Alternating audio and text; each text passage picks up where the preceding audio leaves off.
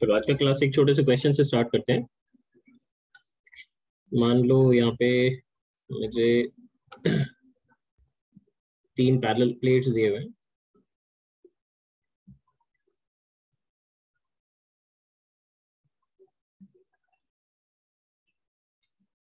यहाँ पे एक कंडक्टिंग वायर एक स्विच के through first and third plate को कनेक्ट करता है। इनके बीच की सेपरेशन हमें दी हुई है। This separation is D. And this separation is 2D. और हमने यहाँ पे इंडिविजुअली इनमें कुछ कुछ चार्जेस मान लो दे दिए। लेट से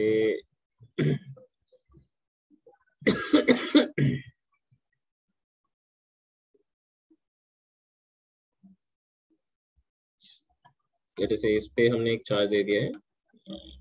प्लस टू क्यू इसमें एक चार्ज दे दिया है। प्लस फोर क्यू एंड इसमें एक चार्ज दिया है। माइनस टू क्यू ये हमने टोटल चार्ज इनमें इंडिविजुअली सप्लाई कर दिया है। अब द क्वेश्चन आस्ट मान लो कि हमने स्विच को क्लोज कर दिया टी इक्वल टू ज़ीरो पे। Let switch B close at T equal to zero find the charges. Appearing. Appearing on the six faces. तीन प्लेट है तो टोटल छह फेस हो गए। तो छह फेस पे आपको चार्जेस का डिस्ट्रीब्यूशन कैलकुलेट करना है। कुछ चीज़ें जो आप ऑलरेडी जानते हैं, उसको यूज़ करेंगे कि इस तरह के जितने भी पैरेलल प्लेट अरेंजमेंट होते हैं उनके लिए जब चार्ज डिस्ट्रीब्यूशन करते हैं तो summation of charge by two ये आउटर सर्फेस पे डिस्ट्रीब्यूट हो जाते हैं तो ये अभी भी होल्ड करेगा। तो इसको जब हम क्लोज भी करते हैं in case we are closing है तो भी आउटर सर्फेस का चार्ज जो है, वो आप एग्जैक्टली exactly वही रखेंगे। तो आउटर सर्फेस की चार्ज कितनी होगी? Summation of charge by two तो summation of charge divided by two करोगे तो फोर क्यू बाई टू मतलब टू क्यू आ जाएगा। So two Q is the charge on this plate अब इस फेस पे आपका ज़ीरो होता ये मैं स्विच क्लोज करने के पहले की बात कर रहा हूँ, ठीक है? ये ज़ीरो होता बट ये स्विच क्लोज करने के पहले की बात कर रहे हैं। स्विच क्लोज करने के बाद की नहीं बात कर रहे हैं। स्विच क्लोज करने के बाद क्या होगा, देखो, एक चीज़ आपको ये समझ आ रहा है, जैसे इसको प्लेट्स को कुछ नाम देते हैं। Let's say this is plate A this is plate B and this is plate C तो प्लेट ए बी के बीच का जितना पोटेंशियल डिफरेंस होगा एंड सी बी के बीच का जितना पोटेंशियल डिफरेंस होगा, वो सेम हो जाएगा, क्योंकि ए और सी आपका सेम पोटेंशियल पे है, और बी एक कॉमन टर्मिनल है दोनों के लिए। तो इस केस में ए से आप बी की तरफ़ जाओगे या फिर सी से बी की तरफ़ आओगे, दोनों केस में आपको सेम पोटेंशियल डिफरेंस मिलना चाहिए। तो अगर अगर आप एक चीज़ सोच के देखो ना इफ़ अगर मान लेते हैं कि आप यहाँ पे ज़ीरो रख के यहाँ पे भी ज़ीरो कर देते तो यहाँ पे आपको फोर क्यू रखना पड़ता एंड यहाँ पे माइनस फोर क्यू रखना पड़ता एंड यहाँ पे आपका टू क्यू तो आ ही जाता। ये एग्जैक्टली exactly तब होता जब आपका बीच का स्विच आपने कनेक्ट नहीं किया होता। अब इसमें कॉन्ट्राडिक्शन क्या है देखो? ए और बी के बीच में कोई इलेक्ट्रिक फ़ील्ड नहीं है। अगर ए और बी के बीच में इलेक्ट्रिक फ़ील्ड नहीं है मतलब ए से बी की तरफ़ अगर आप चल के जाते हो if you go from A to B तो आपको कोई भी पोटेंशियल डिफरेंस नहीं मिलेगा। But if you are going from B to C देखो आपको एक पोटेंशियल डिफरेंस मिलेगा क्योंकि इलेक्ट्रिक फ़ील्ड तो है ना। आपको बात समझ आ रही हाँ, है? Right right? तो ये कॉन्ट्रडिक्शन हो गया। इसका मतलब डेफिनेटली अभी चार्ज मतलब जो प्लेट ए के बीच मतलब जो प्लेट ए के राइट सरफेस पे जो हमने इसको ज़ीरो चार्ज दिखा रखा है इसको डेफिनेट है मुझे चेंज करना ही पड़ेगा। Will have to change this charge क्यों? क्योंकि उस केस में आपका कॉन्ट्रडिक्शन फिर नहीं आना चाहिए। ए से बी के बीच का जितना पोटेंशियल डिफरेंस है वही पोटेंशियल डिफरेंस सी से बी की तरफ़ भी होना चाहिए। देखो आउटर सरफेस का जो चार्ज है ये वाला चार्ज ये वाला चार्ज आपको पता है ये वाले चार्जेस मिला के अंदर में कोई फ़ील्ड क्रिएट नहीं कर सकते। क्या कर सकते हैं वो लोग? यहाँ पे और यहाँ पे फ़ील्ड क्रिएट कर सकते हैं क्या? नहीं। सर नहीं। इसीलिए उन चार्जेस को हम चेंज नहीं करेंगे। जो चार्जेस चेंज होंगे वो अंदर वाले चेंजेस चेंज होंगे। बाहर वाले चार्जेस में कोई चेंजेस हमें नहीं दिखेगा। तो अब हम क्या करते हैं? यहाँ पे वही काम हम करना शुरू करते हैं। लेट से कि हमने इसको जब क्लोज किया तो अब क्लोज करने के बाद फिर ये वाली चार्ज चेंज होकर let say this is somewhat Q हो गई है। कुछ भी एक चार्ज मैंने मान लिया अपनी तरफ़ से एक वेरिएबल क्यू हो गई है। तो ऑब्वियसली इधर की जो चार्ज हो जाएगी ये माइनस क्यू हो जाएगी। तो इधर की जो जब चार्ज लिखोगे आप तो ये हो जाएगी फोर क्यू प्लस क्यू हो जाएगी, क्योंकि सेकंड वाला प्लेट आइसोलेटेड है तो उसमें टोटल चार्ज आपका फोर क्यू का ही रहना चाहिए। तो ये वाले फेस पे अब कितना चार्ज हो जाएगा? अब ये चार्ज पे आपका, ये फेस पे जो आपका चार्ज होना चाहिए that should be equal to minus of four Q and plus Q हो जाना चाहिए। डिड यू गेट दिस समझ आई? यस सर हमने एक वेरिएबल चूज़ किया एक चीज़ का जस्ट ध्यान रखो इसमें कि क्या हमने चार्ज कंजर्वेशन को फॉलो किया या नहीं एक बार चेक कर लो। चार्ज कंजर्वेशन को फॉलो किया या नहीं कैसे पता चलेगा? आप इसमें तो हमने फॉलो कर लिया है। इसमें तो कोई कॉन्ट्रडिक्शन नहीं इसमें तो हमने फॉलो किया ये फोर क्यू आ गया है? बट देखो प्लेट ए और प्लेट सी ये आपस में कनेक्टेड है। दिख रहा है आपको? ये दिख रहा है? हाँ सर तो उनका मिला के चार्ज कांस्टेंट रहना चाहिए। तो पहले कितना था? Plus two Q plus minus two Q मतलब ज़ीरो चार्ज था पहले। तो कनेक्शन के बाद में भी ज़ीरो होना चाहिए। देख लो कनेक्शन के बाद भी क्या ज़ीरो चार्ज है या नहीं? नेट चेक कर लो। क्या नेट चार्ज ज़ीरो है या नहीं है? है सर दिख रहा है? बाहर का two Q two Q four Q हो गया। और अंदर में एक क्यू है स्मॉल क्यू और उधर पे है minus four Q minus Q तो ऑब्वियसली ये चार्ज न्यूट्रलाइज हो जा रहा है आपस में देखा देखा आपने एक चीज़? Did you see this yes sir ठीक है। अब एक चीज़ और एक चीज़ नोटिस करो। मतलब प्लस एंड माइनस में जब आप प्लस माइनस लिख रहे हैं चार्जेस के लिए तो आपको एक्चुअली अभी नहीं पता है कि कौन सा पॉजिटिव है, कौन सा नेगेटिव है। You do not know this तो इसमें देखो, ये वाला जो चार्ज मैंने क्यू दिखा रखा है, और यहाँ पे देखो minus of four Q plus Q दिखा रखा है। पक्का है अगर ये पॉजिटिव होगा ना तो ये भी पॉजिटिव होगा। ये क्यों कहेंगे बताओ? हाउ कैन यू से अगर ये वाला पॉजिटिव हुआ तो ये भी पॉजिटिव होगा, मैं कह रहा हूँ। ये कैसे कह पा रहे हैं? क्योंकि अगर मान लेते हैं ये पॉजिटिव है तो फ़ील्ड का डायरेक्शन ए से बी की तरफ़ होगा। होगा ना? हाँ सर और अगर अगर आप बी से सी जाते हो तो आप सोच के देखो अगर आपने फ़ील्ड का डायरेक्शन ये दिखा दिया तो इसका मतलब है कॉन्ट्रडिक्शन आ गया। कैसे कॉन्ट्रडिक्शन आया? क्योंकि A point and C point same potential पे है क्योंकि एक ही कंडक्टर से कनेक्ट किया हुआ है वो। राइट हाँ sir right so if A is at higher potential with respect to B obviously C has to be at higher potential with respect to B also तो फ़ील्ड का डायरेक्शन किस तरफ़ होना चाहिए था? इस तरफ़ होना चाहिए था ना? ना कि इस तरफ़। समझ आ रही है? ये गलत हो गया। I getting it yes sir ठीक है? तो फ़ील्ड का डायरेक्शन बेसिकली आपका या तो या तो बी की तरफ़ होना चाहिए दोनों तरफ़ से या फिर बी से अवे होना चाहिए दोनों तरफ़ से। ये एक चीज़ है जो आपको यहाँ पे समझने की ज़रूरत है। तो यहाँ पे मैंने क्या किया? अभी फ़ील्ड का डायरेक्शन को मैं ए से बी की तरफ़ ले लेता हूँ यहाँ पे भी। और दूसरी तरफ़ मैं सी से बी की तरफ़ ले लेता हूँ। आई होप आपको समझ आ रही है। इस रीजन में मैं फ़ील्ड को ई वन मार्क कर रहा हूँ और इस रीजन में फ़ील्ड को ई टू मार्क कर रहा हूँ। I hope you understood this yes sir ठीक है? और अब potential difference between A and B potential difference between A and B should be equal to potential difference between C and B होना चाहिए। ठीक है? सीबी का जो पोटेंशियल डिफरेंस है वही एबी का पोटेंशियल डिफरेंस होना चाहिए। एंड पोटेंशियल डिफरेंस कैसे निकालते हैं? यूनिफॉर्म फ़ील्ड में फ़ील्ड मल्टीप्लाइड बाय सेपरेशन तो इसको लिखेंगे तो आप लिखेंगे E one into D should be equal to E two into two D मतलब ई वन की वैल्यू मैग्नीट्यूड में आपका ट्वाइस ऑफ़ ई टू होना चाहिए। अभी यहाँ पे ई वन और ई टू की वैल्यूज़ को सब्सिट्यूट करें। आपको पता है फ़ील्ड बिटवीन प्लेट्स निकालेंगे तो कंडक्टिंग प्लेट्स हैं तो बस लोकल चार्ज डेंसिटी देखो and divide by epsilon naught कर दो। तो इसको डायरेक्टली लिख सकते हैं Q by a epsilon naught and that will be equal to twice of अब यहाँ पे देखो हम केयरफुली ध्यान दो यहाँ पे मैं क्या लिख रहा हूँ? Minus of four Q and plus Q divided by A epsilon naught. आप देखो ये नेगेटिव मैंने कंसिडर किया है। ये देखो मैंने नेगेटिव कंसिडर किया है। Don't forget this negative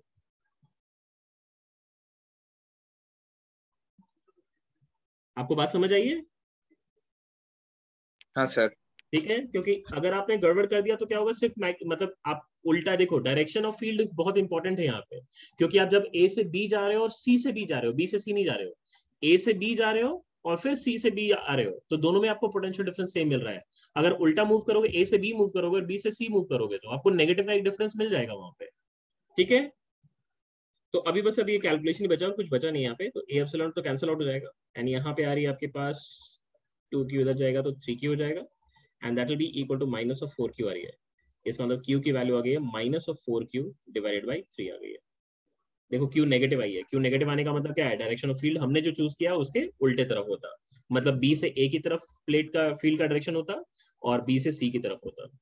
did you understand तो माइनस ऑफ़ एट क्यू होना चाहिए ना। कुछ गलत किया मैंने? हाँ हाँ एट क्यू होगा बेटा। एट क्यू आएगा।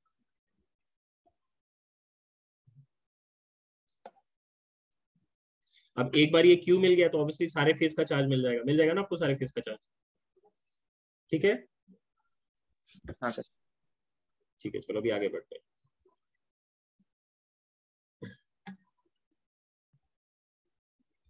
नेक्स्ट क्वेश्चन पे मूव करते हैं।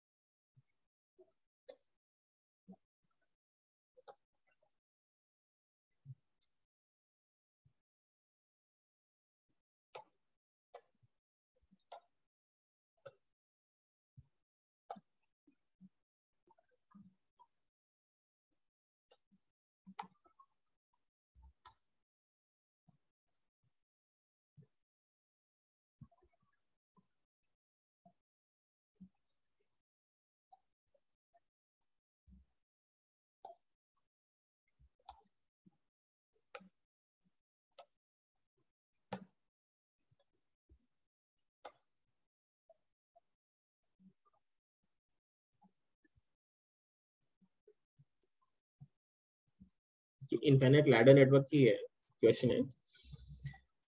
यहाँ पे नेट कैपेसिटेंस दे रखा है C one C two C one C two C one C two C one C two ऐसे दे रखे हैं।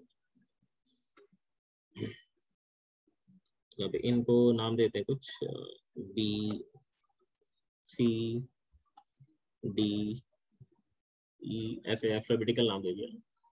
Now the question says the potential the potential of the successive terminals as we move from A to B, B to C, C to D, and so on, decreases to 1 by nth of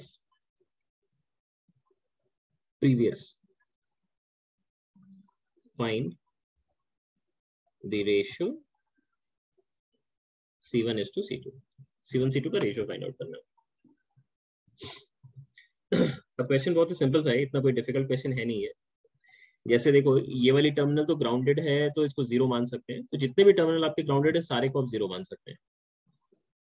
सारे zero है, ठीक है? अभी आप ए point का potential अगर लिखोगे तो यहाँ पे आप सिंपली वी नॉट लिख सकते हो। फिर उसने कह रखा है कि जब आप ए से बी मूव करते हो तो पोटेंशियल वन बाई एन हो जाना चाहिए। प्रीवियस का। तो प्रीवियस में वी नॉट था तो पॉइंट ए पे कितना लिख सकते हैं हम? वी नॉट बाई एन लिख सकते हैं? लिख सकते हैं? हाँ सर फिर बी से सी जब मूव करेंगे, फिर से वन बाई एन हो जाना चाहिए प्रीवियस का। और प्रीवियस में कितना है? वी नॉट बाई एन तो यहाँ पे पोटेंशियल कितना हो जाना चाहिए? V naught by N square फिर फिर फर्दर आगे मूव करोगे तो फिर V naught by N cube और ऐसे ही आपका चलते रह जाना चाहिए। अब आपको basically C one C two का रेशियो पूछा है। ये बहुत ही आसान क्वेश्चन हो गया है। देखो, आपको एक ही क्वेश्चन से काम चल जाएगा। बस आप चार्ज कंजर्वेशन लगा लो charge conservation at isolated part calculation कर लो, उससे ही आंसर आ जाएगा। ये वाला पार्ट एक आइसोलेटेड पार्ट हमें दिख रहा है। कहीं से भी करते सेम ही आंसर आता। तो ये वाला पार्ट एक आइसोलेटेड पार्ट है। इस पे चार्ज कंजर्वेशन की इक्वेशन लिख। तो इक्वेशन लिखो क्या लिखोगे आप यहाँ पे? So summation of charge at junction B this should be equal to zero लिख रहे हैं। सो so, लिखेंगे तो C one into potential difference V naught by N minus of V naught plus C one into V naught by N minus of V naught by N square plus C two into V naught by N minus of zero and that should be equal to zero देखो कि confusion तो नहीं है इसमें।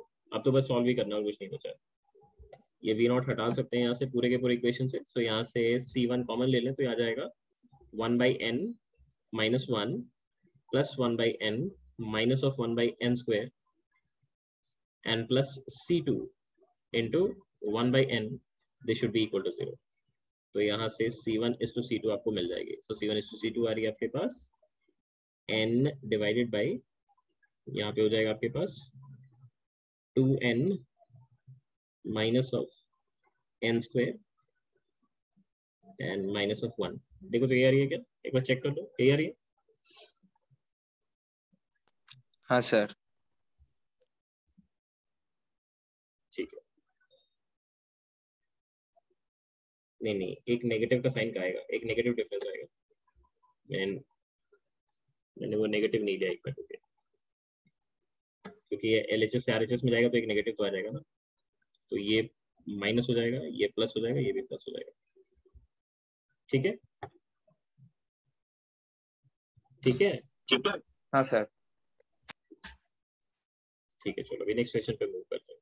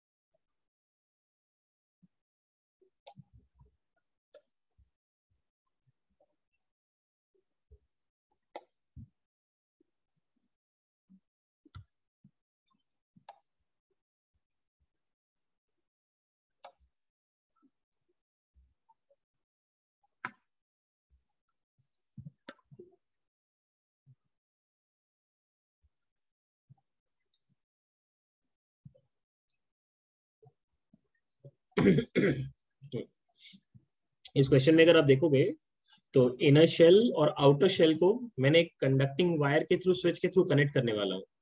But second shell के साथ इसका कोई कनेक्शन नहीं है क्योंकि सेकेंड शेल के थ्रू देखो एक छोटा सा होल किया हुआ है और उस होल के थ्रू आपका वायर पास हो रहा है। दिख रही है आपको? हाँ सर ठीक है? तो ये ध्यान रखना सेकेंड शेल के साथ कोई कनेक्शन नहीं है फ़र्स्ट एंड थर्ड शेल का। okay so the question is after closing the switch. Ella, find charge density ratio on outer surface of innermost shell and inner surface of outermost shell. Outermost shell. ये पहला चीज़ find करना है। And फिर दूसरा जो आपको find out करना है वो ये है। Potential difference between first and second shell ये आपको फाइंड आउट करना है। ये दो चीज़ें निकालनी देखो जब हम इसको क्लोज करेंगे तो अगेन ये वैसा ही क्वेश्चन है जो अभी फ़र्स्ट क्वेश्चन आज हमने किया था। बस उसमें डिफरेंस क्या था? उसमें डिफरेंस ये था कि ये प्लेट्स थे यहाँ पे शेल से देखो। फ़र्स्ट शेल सेकेंड शेल का जो पोटेंशियल डिफरेंस होगा एंड थर्ड शेल और सेकेंड शेल का जो पोटेंशियल डिफरेंस होगा वो दोनों सेम होना पड़ेगा। हाँ समझ आ रही है आपको? ठीक है? तो इसमें सेम पोटेंशियल डिफरेंस यहाँ पे होनी चाहिए उन दोनों की। अब यहाँ पे वेरिएबल से स्टार्ट करते हैं, क्योंकि कहाँ पे कितना चार्ज रहेगा ये तो आपको पता नहीं है। आपको ये पता है कि फ़र्स्ट एंड थर्ड शेल को हम आपस में कनेक्ट कर रहे हैं तो वो दोनों मिला के एक आइसोलेटेड सिस्टम है। सेकेंड शेल ग्राउंडेड है, इसलिए वो एक आइसोलेटेड सिस्टम नहीं है, वो ग्राउंड से कनेक्टेड है, इसलिए उसके लिए चार्ज कंजर्वेशन हम नहीं लगाएँगे। Charge conservation first and third shell को मिला के हम कैलकुलेट करेंगे। तो अभी हमने क्या किया? इनर शेल के इनर शेल के ऊपर हमने चार्ज जो है, मान लेते हैं स्मॉल क्यू कुछ एक मान लिया है। तो ऑब्वियस है जो सेकंड शेल है, उसके इनर सरफेस पे आपका एक माइनस क्यू डेवलप हो जाएगा। फिर यहाँ पे भी कुछ एक चार्ज होगा, उसको क्यू डैश मान लेते हैं।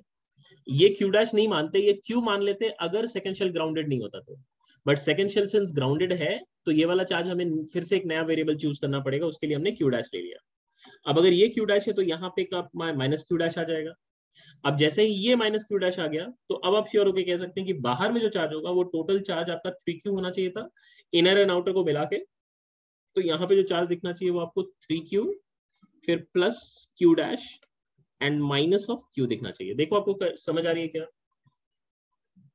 फ़र्स्ट एंड थर्ड शेल मिला के जो टोटल चार्ज होना चाहिए वो आपका थ्री क्यू होना चाहिए। देखो आपको दिख रहा है थ्री क्यू है? हाँ सर है। ठीक है। हमने वेरिएबल कितने चूज़ किए हैं? What is what are the number of variables that we have taken two q and तो दो वेरिएबल के लिए दो इक्वेशन चाहिए। दो इक्वेशन कहाँ से आएँगे?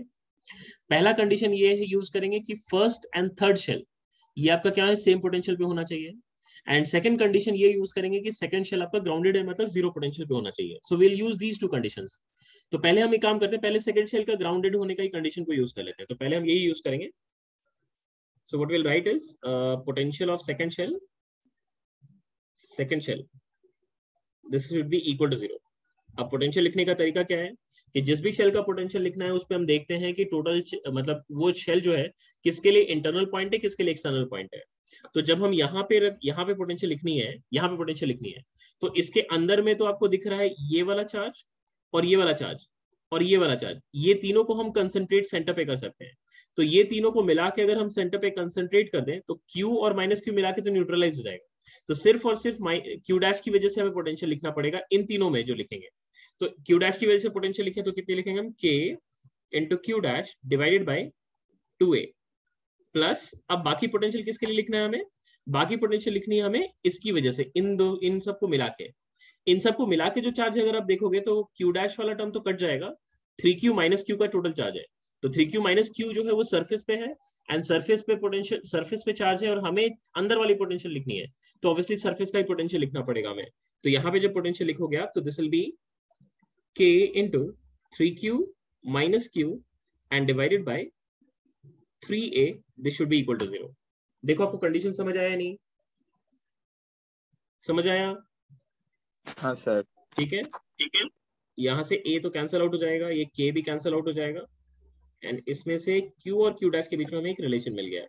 So what you getting is three q dash plus six q minus two q this should be equal to zero सो ये हमारा पहला कंडीशन हो गया। या इसको ऐसे लिख सकते हैं। Two q minus three q dash is equal to six q. ये फ़र्स्ट इक्वेशन हो गई है। अब इस इक्वेशन को अब अब हम इस कंडीशन को यूज़ करेंगे कि फ़र्स्ट शेल का जो पोटेंशियल है वही थर्ड शेल का पोटेंशियल होना चाहिए।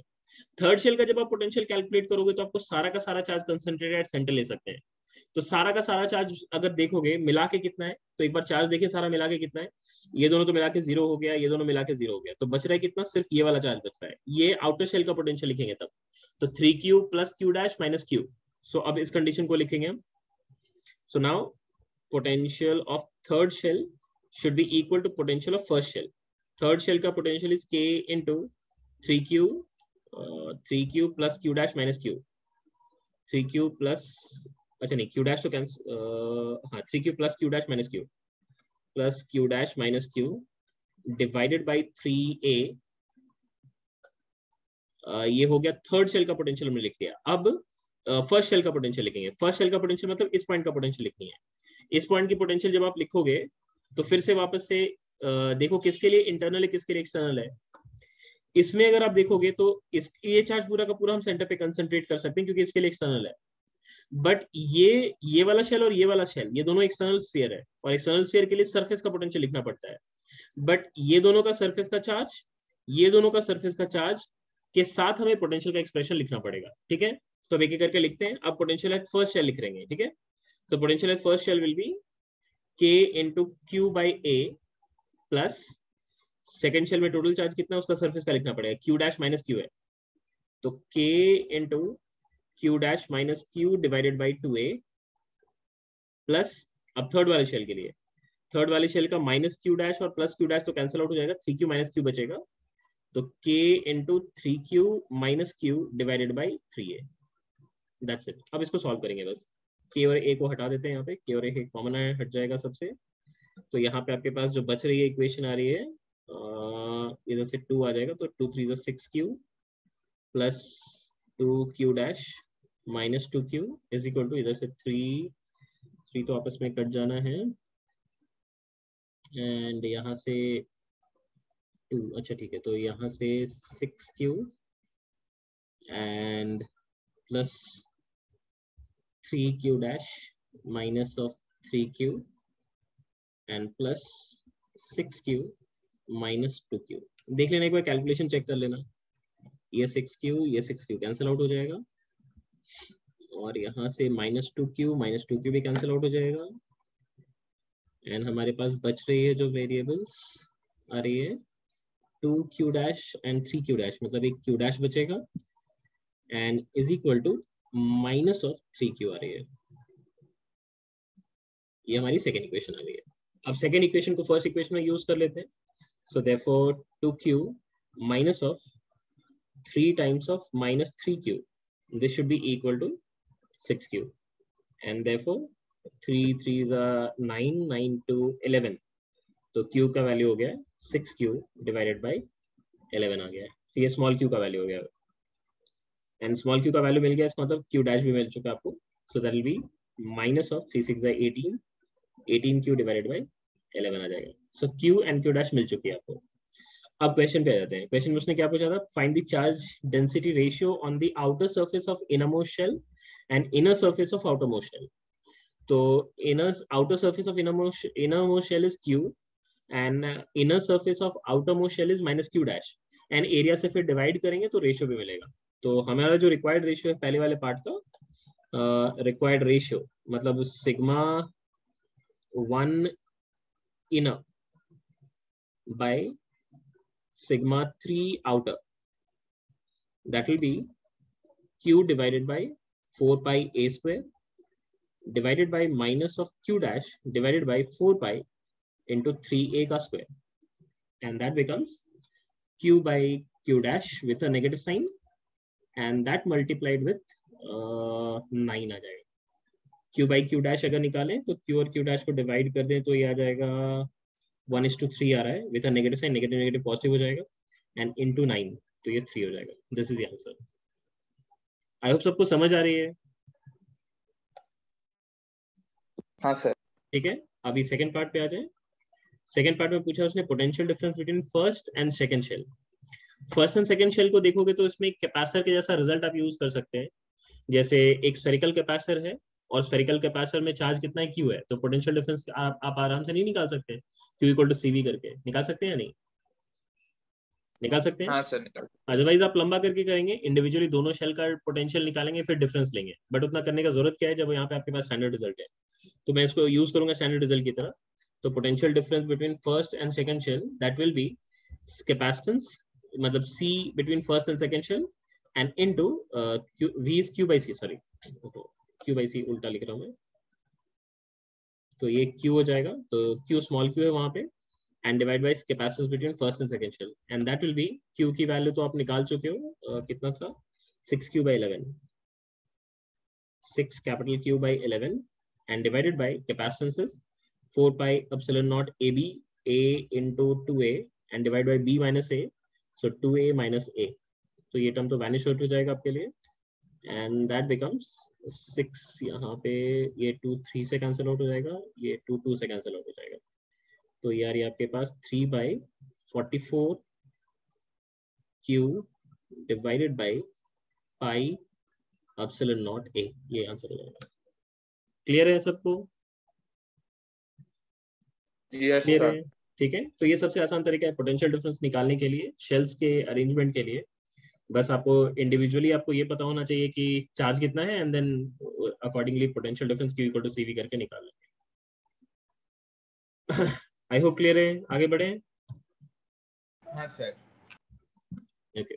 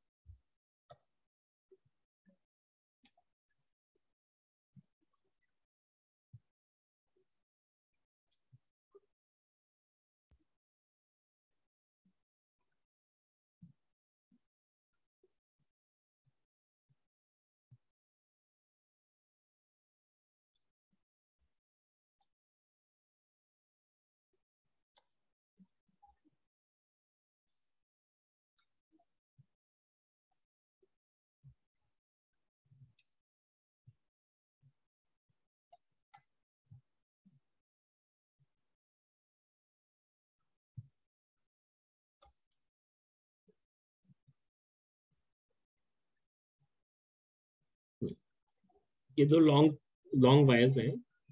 ये इसका क्रॉस सेक्शनल व्यू आपको दिख रहा है डायग्राम में।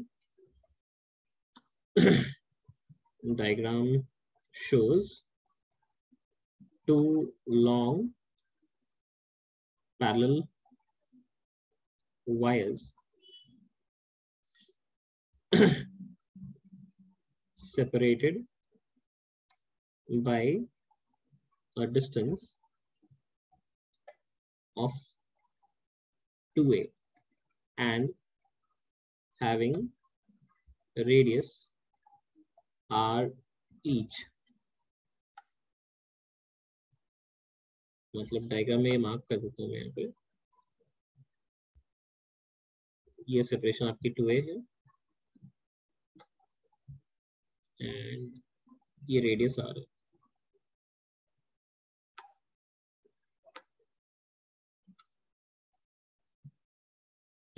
Now they've asked us find the capacitance per unit length, per unit length of the two wire system. इसकी कैपेसिटेंस आपको फाइंड आउट करनी है।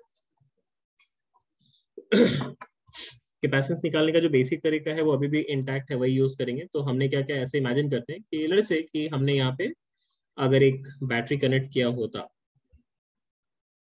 अगर एक बैटरी कनेक्ट करते तो वो एक एंड से चार्ज को निकालता और दूसरे एंड पे डिपॉजिट कर देता, तब तक जब तक उनकी पोटेंशियल डिफरेंस सेम नहीं जाती। मतलब पोटेंशियल डिफरेंस वी से मैच नहीं कर जाता।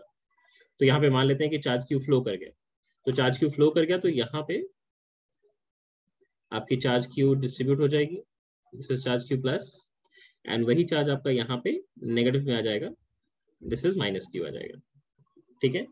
तो अगर आप देखोगे तो दोनों लॉन्ग लाइन चार्ज की तरह ट्रीट करेंगे हम इनको। लॉन्ग पैरल वाइज उसने ऑलरेडी कह रखा है। ठीक है? These are long parallel wires तो इस केस में अगर एक लॉन्ग वायर है तो उसके लिए एक्सटर्नल पॉइंट पे जब आप फ़ील्ड कैलकुलेट करते हो तो आपको पता है ना कि सारा का सारा चार्ज हम सेंटर पे मतलब एक्सेस पे कंसंट्रेट कर सकते हैं और two k lambda by r का फॉर्मूला यूज़ कर सकते हैं फ़ील्ड के लिए।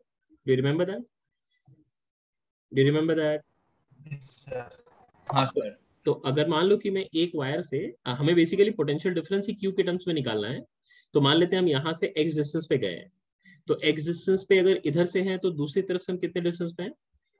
Two a minus x distance हो जाएँगे। एंड इसके अकॉर्डिंग जब दोनों का फ़ील्ड लिखेंगे तो दोनों की फ़ील्ड तो आपकी आर की तरफ़ ही आएगी। तो this is field due to positive charge and field due to negative charge भी आपका इसी तरफ़ होगा। तो दोनों का फ़ील्ड आपका एडअप होगा तो नेट फ़ील्ड मिल जाएगा। एंड नेट फ़ील्ड से फिर हम dx को मल्टीप्लाई करेंगे तो पोटेंशियल डिफरेंस dv मिल जाएगा। एंड इसी को इंटीग्रेट कर देंगे फ़र्स्ट वायर से लेके सेकंड वायर तक के बीच में तो हमें पोटेंशियल डिफरेंस मिल जाएगा।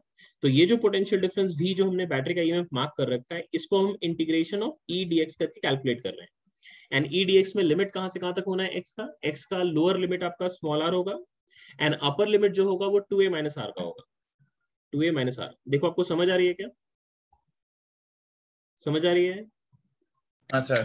ठीक है? अब ये फ़ील्ड लिखें तो फ़ील्ड की वैल्यू आ जाएगी। पॉजिटिव चार्ज का field will be two k lambda by r so two k into lambda divided by x plus two k into lambda divided by two a minus x दोनों का lambda मैंने same लिया है।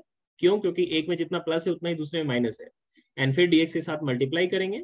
इसको r से लेके two ए minus r तक integrate कर लेंगे। टू के लैमडा को कॉमन आउट कर लो। So this becomes two k lambda को बाहर निकाल लिया।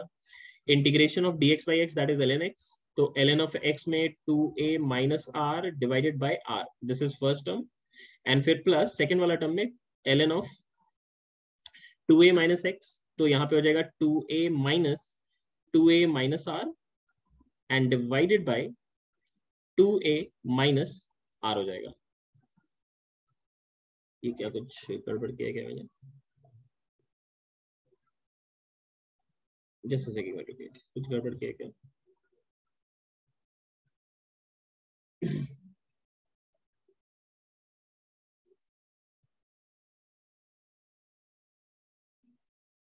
सरफेस ऑफ़ आउटर शेल मतलब सरफेस ऑफ़ इधर से लेके तो ये तो आ रही हो जाएगा। लोअर लिमिट तो आ रही है।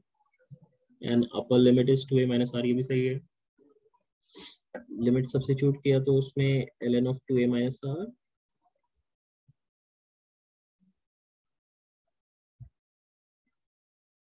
two a minus two a minus आ रही है तो ठीक है फिर लोअर लिमिट भी डाला तो ये आ रहेगा ठीक है ये क्या गड़बड़ हो रहा है? क्या गड़बड़ हो रहा है? ज़ीरो आ जा रहा है हाँ वही मैं देख रहा हूँ बेटा कुछ गड़बड़ कर रहे हैं क्या? क्या गड़बड़ कर रहा हूँ मैं देख रहा हूँ। इसीलिए तो वो ज़ीरो देख के तो बोल रहा हूँ कि वो कुछ गलत कर दिया मैंने यहाँ पे कुछ कैलकुलेशन में कुछ गड़बड़ कर दिया मैंने। Sir two a minus sir तो ऊपर होगा। कहाँ पे बेटा? सर वो जो सेकंड एल वाला एक्सप्रेशन है वहाँ पे। नहीं तो उसका तो एक्सप्रेशन तो l n of two a minus x है ना इंटीग्रेशन अच्छा नहीं माइनस भी है एक बार एक बार। ठीक है ठीक है क्या कर रहा हूँ मैं सेकेंड वाले का जो इंटीग्रेशन होगा उसमें एक्स का कोफिशियंट माइनस वन है ना? देखो तो। ये देखो एक्स का कोफिशियंट कितना है? माइनस वन है ना? माइनस हाँ, वन हाँ। से डिवाइड भी तो करना पड़ेगा। डिवाइड करना पड़ेगा हाँ। अब ठीक है अब ठीक है अब कोई दिक्कत नहीं है। तो यहाँ पे एक माइनस वन भी आ जाएगा ठीक है? अब कोई दिक्कत नहीं। So this becomes two k into lambda and यहाँ पे l n of two a minus r by r and फिर यहाँ पे अब एल एन में सब्सट्रैक्शन हो गया मतलब डिविजन हो जाएगा और डिविजन करोगे तो इसका स्क्वायर आ जाएगा सिंपली है ना? आएगा? हाँ सर ठीक है? अब ये टू को इधर ले जा सकते हैं सो ये हो जाएगी आपकी फोर इंटू के का value one by four by epsilon naught and into lambda lambda is charge per unit length तो क्यू बाई एल कर सकते हैं इसको। एंड इसको लिख सकते हैं l n of two a minus r divided by r लिख सकते हैं। ठीक है? अब यहाँ से ये फोर फोर कैंसिल आउट हो गया। एंड uh, उसने जो हमसे पूछा था कैपेसिटेंस पर यूनिट लेंथ पूछा था तो कैपेसिटेंस पहले फाइंड आउट करें तो कैपेसिटेंस की वैल्यू हो जाएगी क्यू बाई वी कैलकुलेट करोगे तो क्यू बाई वी लिखोगे तो ये हो जाएगा pi epsilon naught l divided by l n of two a minus r divided by r हो जाएगा। And therefore capacitance per unit length निकालनी है आपको। तो सी बाई एल कर लीजिए। And therefore this becomes pi epsilon naught and divided by l n of two a minus r divided by r हो जाएगा। क्लियर है? ये थोड़ा सा टिपिकल एग्ज़ाम्पल था। ऐसे नॉर्मली आपको दिखते नहीं है। बट ठीक है आपको समझ में आना चाहिए हमने कैसे किया है। समझ आइए सभी को? समझ आइए? ठीक है। एंड ऑफ़ कोर्स ये सब चीज़ें करने के लिए आपको पूरा का पूरा इलेक्ट्रोस्टैटिक्स का सब कुछ याद रखना पड़ेगा। जैसे यहाँ पे अगर देखोगे तो मैंने field of a line charge use किया। अब अगर फ़ील्ड ऑफ़ लाइन चार्ज ही नहीं पता तो फिर तो आप ऑब्वियसली सब क्वेश्चन को सॉल्व नहीं कर सकते। तो आपको सारी चीज़ें पता मतलब रिजल्ट्स आपको यू नो बाय हार्ट याद होनी चाहिए सारी चीज़ें चलो अभी नेक्स्ट क्वेश्चन पे मूव करते हैं। एक स्विचिंग सर्किट का क्वेश्चन दिखाता हूँ।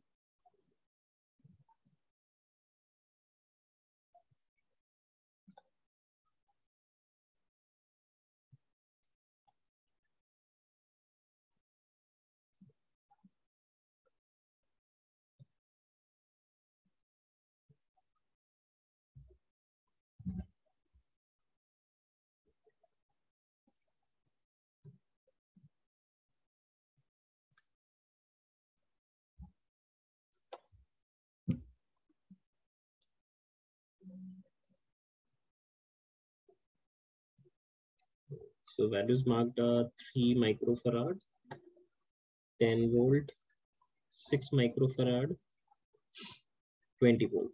And this is switches. the question says, this switch S is closed at t equal to 0. Find the following when steady state is again achieved. Again achieved. Question के कुछ parts हैं। पहला part है number one charge flown through switch charge flown through switch ये कितनी होगी? दूसरी work done by battery निकालनी है।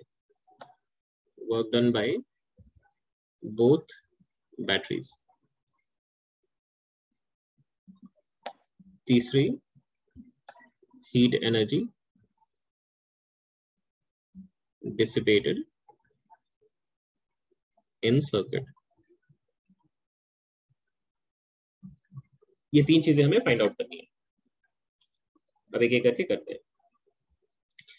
पहले हम ये फाइंड आउट कर लेते हैं कि इनिशियली जब स्विच ओपन नहीं मतलब ओपन है क्लोज नहीं किया हमने तब इंडिविजुअली सारे कैपेसिटर्स में कितनी चार्ज है पहले ये फाइंड आउट कर लेते हैं। देखो ये सिंगल लूप सर्किट है दिख रही है आपको? दिख रही है? हाँ सर और अगर ये सिंगल लूप सर्किट है तो इस केस में डायरेक्टली हम दोनों कैपेसिटर को सीरीज़ में मान के Q इक्वल टू सीवी निकाल के चार्ज निकालते थे याद है आपको? आप अगर देखोगे तो 20 वोल्ट वाला एंटी क्लॉकवाइज डायरेक्शन में करंट सेंड करने की कोशिश करेगा एंड 10 वोल्ट वाला क्लॉकवाइज डायरेक्शन में सेंड करने की कोशिश करेगा मतलब ईएमएफ ऑफ़ लूप अगर देखोगे आप तो 10 वोल्ट एंटी क्लॉकवाइज आएगा आएगा ना? राइट हाँ, इसका। मतलब है इसका मतलब है कि बेसिकली 20 वोल्ट को आप इमेजिन कर सकते हो 10 वोल्ट और 10 10 वोल्ट और 20 वोल्ट को हटा के एक सिंगल 10 वोल्ट इमेजिन करो हाइपोथेटिकली तो उससे पता चलेगा कि वो चार्ज इस डायरेक्शन में आपका एक सर्कुलेट कराएगा। तो इस डायरेक्शन में अगर चार्ज सर्कुलेट कराएगा तो इस केस में आपको ये पता चलना चाहिए कि चार्ज इसमें एक माइनस क्यू आ जाएगा, वही चार्ज इसमें प्लस क्यू हो जाएगा। अब यहाँ पे वही चीज़ प्लस क्यू हो जाएगा, फिर यहाँ पे आपका माइनस क्यू हो जाएगा। सॉरी उल्टा कर दिया, ओहो। यहाँ पे माइनस क्यू हो जाएगा और यहाँ पे आपका प्लस क्यू हो जाएगा। ठीक है? तो ये क्यू की वैल्यू आप क्यू इक्वल टू सीवी करके कैलकुलेट कर सकते हैं। तो बिफोर क्लोजिंग स्विच लिख रहे हैं पहले। So before closing switch. Q equal to C loop into EMF of loop. And C loop is 3 in series with 6 microfarad. And that multiplied with 20 volt minus 10 volt. And that becomes 2 into 10, which is 20 microcoulomb ka charge. So 20 microcoulomb का charge पहले है। अब हमने क्या किया? अब हमने switch को क्लोज किया, ठीक है? ये क्यू हमारा 20 आ चुका है। इसको मैं 20 लिख देता हूँ। काम करते हैं इसको 20 लिख देते हैं। जस्ट वैल्यूज़ लिख रहा हूँ ताकि कन्वीनियंस हो कैलकुलेशन के लिए हमारे तो यहाँ पे माइनस ट्वेंटी है, ये प्लस ट्वेंटी है, ये प्लस ट्वेंटी है, ये माइनस ट्वेंटी है, ठीक है? अब मैं क्या करूँ? इसको क्लोज किया मैंने। इसको क्लोज कर रहे हैं, ठीक है? इसको क्लोज करने के बाद अगर देखोगे तो ये चेक करो। ये वाली टर्मिनल और ये वाली टर्मिनल सेम पोटेंशियल पे आ गए हाँ सर और ये वाली टर्मिनल और ये वाली टर्मिनल सेम पोटेंशियल पे आ गए दिख रही है आपको? यस सर इसका मतलब थ्री माइक्रोफराड के अक्रॉस पोटेंशियल डिफरेंस कितने का आ गया? है टेन वोल्ट का? दस हाँ। और टेन वोल्ट का अगर पोटेंशियल डिफरेंस है तो चार्ज कितना होगा? सीवी लगाओ तो थ्री इंटू टेन थर्टी हो जाएगा। Right right? और पोलैरिटी देखो लेफ़्ट साइड में पॉजिटिव और राइट right साइड में नेगेटिव दिख रही है आपको? हाँ सर ठीक है? तो इसको एक बार मार्क कर लेते हैं। तो मैं ये लिख रहा हूँ कि ये वाली चार्ज चेंज होकर आपकी प्लस थर्टी हो जाएगी एंड ये वाली चार्ज चेंज होकर आपकी माइनस थर्टी हो जाएगी। ठीक है? सेम काम अब इधर देखो आप। ये वाली टर्मिनल और ये वाली टर्मिनल कॉमन है। ये वाली टर्मिनल और ये वाली टर्मिनल कॉमन है।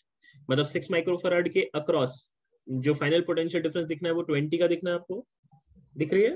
हाँ सर एंड ऑब्वियसली इससे चार्ज आप निकाल सकते हो। सीवी करके 120 आएगा। एंड पोलैरिटी देखोगे तो लेफ़्ट वाला टर्मिनल पॉजिटिव है एंड राइट वाला नेगेटिव है। मतलब पोलैरिटी चेंज नहीं हुआ है। पहले भी लेफ़्ट वाला पॉजिटिव था अभी भी अभी भी पॉजिटिव ही रहेगा वो। तो ये चार्ज को मैं चेंज करके इसको लिख रहा हूँ दिस इज़ प्लस 120 एंड इस चार्ज को लिख रहा हूँ this is minus of 120 I hope आपको समझ आ गई है। चार्ज कैसे मार्क किया?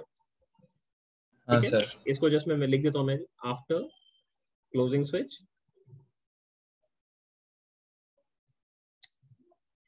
switch potential difference across 3 microfarad and 6 microfarad.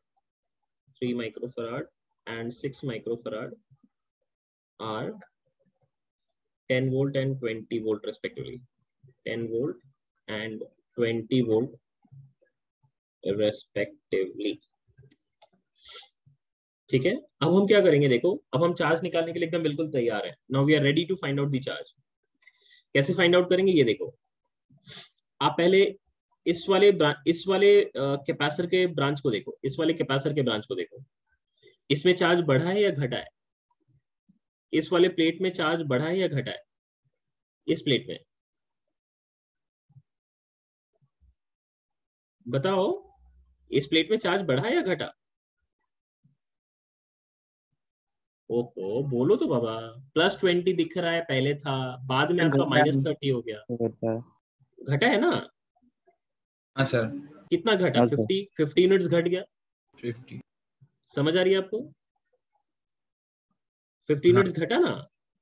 हाँ हाँ सर तो इधर से आप बोलोगे इधर से आप बोलोगे कि इधर से चार्ज कितना फ्लो कर गया? What is the amount of charge flown so ये 50 माइक्रोकूलम का चार्ज इधर फ्लो कर गया तभी तो प्लस ट्वेंटी से माइनस थर्टी हो गया।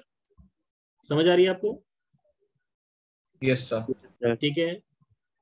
अभी आप इधर का सोचो। इस कैपेसिटर के इस प्लेट का सोचो। इसमें पहले चार्ज कितना था? Minus twenty. एंड बाद में चार्ज कितना है? Minus one twenty. पहले माइनस ट्वेंटी बाद में माइनस वन ट्वेंटी। तो चार्ज इसका भी घट गया। हाँ घट गया। और इसका चार्ज घटा है इसका मतलब कि कितना घटा है? हंड्रेड यूनिट्स का घट गया है। राइट? यस सर हाँ सर तो इसका मतलब है यहाँ पे मैं दिखा सकता हूँ कि इधर से एक चार्ज फ्लो कर गया। कितना यूनिट्स का फ्लो किया है चार्ज प्लस हंड्रेड यहाँ पे प्लस था यहाँ पे भी प्लस हंड्रेड ठीक है? प्लस हंड्रेड माइक्रोकुलम का चार्ज फ्लो कर गया। तो ये तो इसी वायर के थ्रू फ्लो कर रहा है तो ऑब्वियसली इसमें भी प्लस हंड्रेड माइक्रोकुलम का फ्लो किया है। मतलब इधर से भी आपका जो चार्ज फ्लो करके आया है that has come out to be plus hundred microcoulomb did you understand did you understand अब यहाँ पे हाँ। किरचॉफ अब अब यहाँ पे चार्ज कंजर्वेशन का जस्ट इक्वेशन यूज़ कर लो। यहाँ से आ रहा है फिफ्टी यूनिट्स यहाँ से आ रहा है हंड्रेड यूनिट्स तो यहाँ से कितना जाएगा? वन फिफ्टी जाएगा या नहीं? या सर राइट तो चार्ज कंजर्वेशन से आपको यहाँ पे charge flown through this switch भी मिल गया है। So charge flown through this switch becomes इधर से charge flown will be and इसको क्यू लिख रहे हैं तो q will be 50 plus 100 and that becomes 150 microcoulomb clear है? पहले पार्ट का आंसर मिल गया हमें ठीक है? सो पहले पार्ट का आंसर इज़ पहले पार्ट का answer is 150 microcoulomb second part में work done by both the batteries देखो 20 वोल्ट वाला बैटरी तो दिख रहा है उसके लिए कन्वेंशनल डायरेक्शन ऑफ़ फ्लो है 100 माइक्रोकुलम का. एंड जो 10 वोल्ट वाला बैटरी है 10 वोल्ट वाले बैटरी के लिए देखो इस ब्रांच में आपका 50 माइक्रोकुलम का चार्ज फ्लो किया है. इधर से भी 50 माइक्रोकुलम का चार्ज फ्लो किया है ये सेम ही है. तो टेन वोल्ट वाले बैटरी ने भी पॉजिटिव वर्क किया है। दोनों ने ही पॉजिटिव वर्क किया है। तो अब दोनों की इंडिविजुअली वर्क निकाल सकते हैं। Charge flow through the battery multiplied by EMF तो वही कर लेते हैं। सो सेकंड पार्ट के लिए हम जब करेंगे वर्क डन बाय बैटरी ये 10 वोल्ट वाला बैटरी की बात कर रहे हैं। So charge flown was 50 so 50 microcoulomb multiplied with 10 volt, and that becomes 500 microjoules हो जाएगा। So work done by battery of 20 volt that will be, charge flow क्या था उसमें? 100 and 20 volt का बैटरी था। So 100 microcoulomb multiplied with 20 volt, and that becomes 2000 microjoules हो जाएगा। So so, ये पार्ट भी हमारा निकल गया। This is your second part. Third part पे आए। हीट एनर्जी कितनी जनरेट हुई है वो निकालनी है। तो एक तो आप ये कर सकते हैं summation of work done by battery minus of change in energy of capacitors summation of change in energy of capacitors या फिर आप डायरेक्टली ये भी कर सकते थे चेंज इन चार्ज निकालें। इसका स्क्वायर करें and divide by two c कर लें और इसका समेशन कर लें। दोनों में से जो भी कन्वीनियंट है। तो सेकंड वाला मुझे कन्वीनियंट लग रहा है, मैं उसी से कैलकुलेट कर लेता हूँ। चेंज इन चार्ज निकालें स्क्वायर करें डिवाइड बाई टू सी कर लें। Change in charge first capacitor के लिए कितना हुआ है? थ्री माइक्रोफराड के लिए फिफ्टी यूनिट्स का चेंज हुआ है।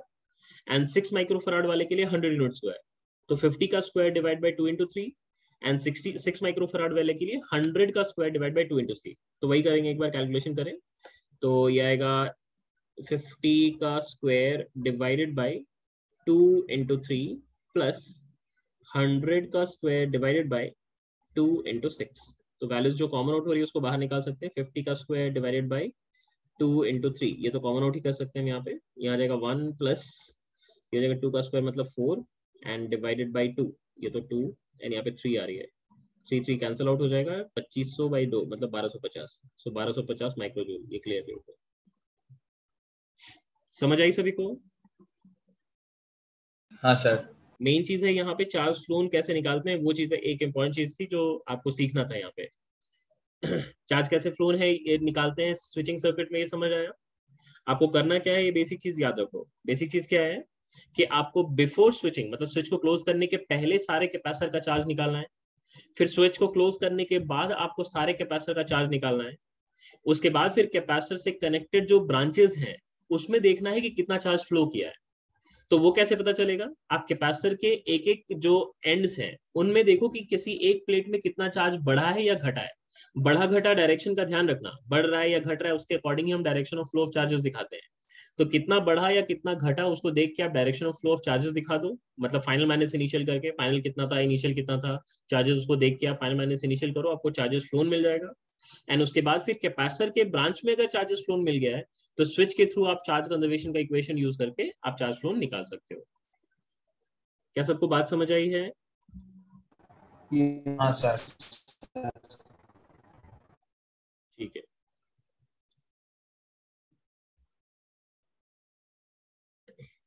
एक मिनट रुकिए।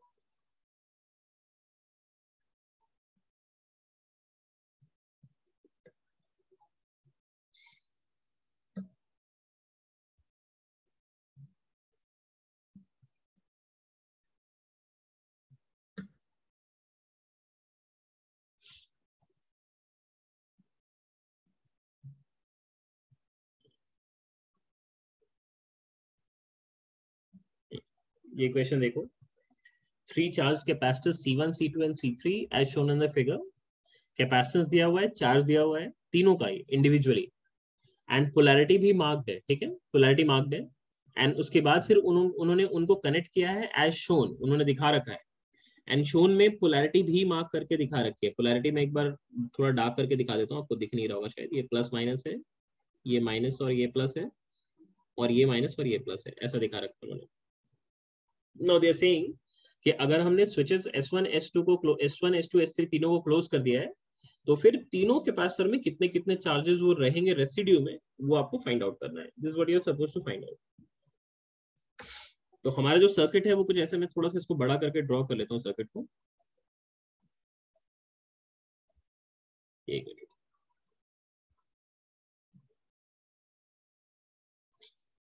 Okay.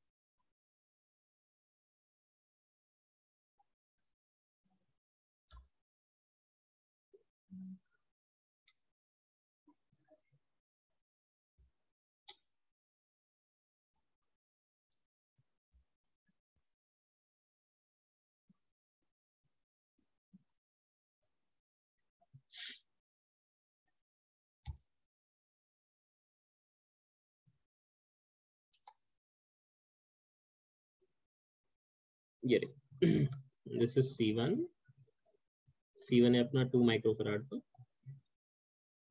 ये है सी टू ये है थ्री माइक्रोफराड का, और ये है सी थ्री जो कि है फोर माइक्रोफराड का। एंड पोलैरिटी में ये प्लस फोर्टी पहले था दिस वाज माइनस फोर्टी फिर दिस वाज प्लस ना माइनस का उल्टा है। ये माइनस एट्टी एंड ये प्लस एट्टी था। एंड फिर यहाँ पे माइनस मतलब ये माइनस ट्वेंटी एंड ये प्लस ट्वेंटी था। ठीक है? अब अगर आप देखोगे तो कोई भी आइसोलेटेड पार्ट जो है आइसोलेटेड पार्ट मतलब जैसे आप कोई भी एक आइसोलेटेड पार्ट कंसिडर कर लो, जैसे ये एक आइसोलेटेड पार्ट देख लो। इसमें चार्ज देखो, आपको ज़ीरो नहीं दिखेगा। दिख रही है? माइनस फोर्टी माइनस एट्टी है। दिख रही है? राइट दिख रही है सभी को? अरे हाँ या ना तो बोल दो आवाज़ तो आ जाए मुझे पता चले कि आप आवाज़ सुन रही है। हाँ सर। हाँ सर। ठीक है। तो हाँ, अभी आपके पास क्या है? आपके पास ऑप्शन क्या है कि जैसे आ, मतलब आप क्या कर सकते हो? जैसे आप मान लो कि इसमें कुछ एक चार्ज फ्लो कर गया। लेट से कि यू नो किसी भी एक तरफ़ से आप मान लो कि चार्ज फ्लो कर गया है आप इससे कोई फ़र्क नहीं पड़ता आप किधर से किधर फ्लो करा रहे हो क्योंकि चार्ज अगर आप पॉजिटिव नेगेटिव में अगर गड़बड़ करोगे तो अपने आप ही नेगेटिव आंसर के साथ आ जाएगा। तो मैं मान लेता हूँ लेट अस कंसिडर कि हमने यहाँ पे आ, मान लिया कि इधर से एक चार्ज क्यू फ्लो कर गया इधर से ब्रांच में इस ब्रांच में एक चार्ज क्यू फ्लो कर गया तो ऑब्वियसली अगर इधर से चार्ज क्यू फ्लो कराया आपने तो इसमें जो C1 वाला कैपेसिटर है उसमें चार्ज आपका माइनस ऑफ़ 40 प्लस क्यू हो जाएगा। होगा या नहीं? होगा? हाँ राइट क्योंकि चार्ज उसमें घट जाएगा। अब वही चार्ज इस 80 वाले में आपका बढ़ जाएगा। मतलब यहाँ पे चार्ज हो जाएगा ये हो जाएगा माइनस ऑफ़ 80 माइनस क्यू हो जाएगा। होगा ना? होगा? सर। तो इधर ये जो चार्ज ये वाला जो प्लेट है इसका चार्ज तो हमने चेंज कर दिया। We change this charge we change this charge. So obviously this charge will also change. This will be 80 plus q हो जाएगा। अब 80 plus q एक मिनट 80 माइनस q होगा।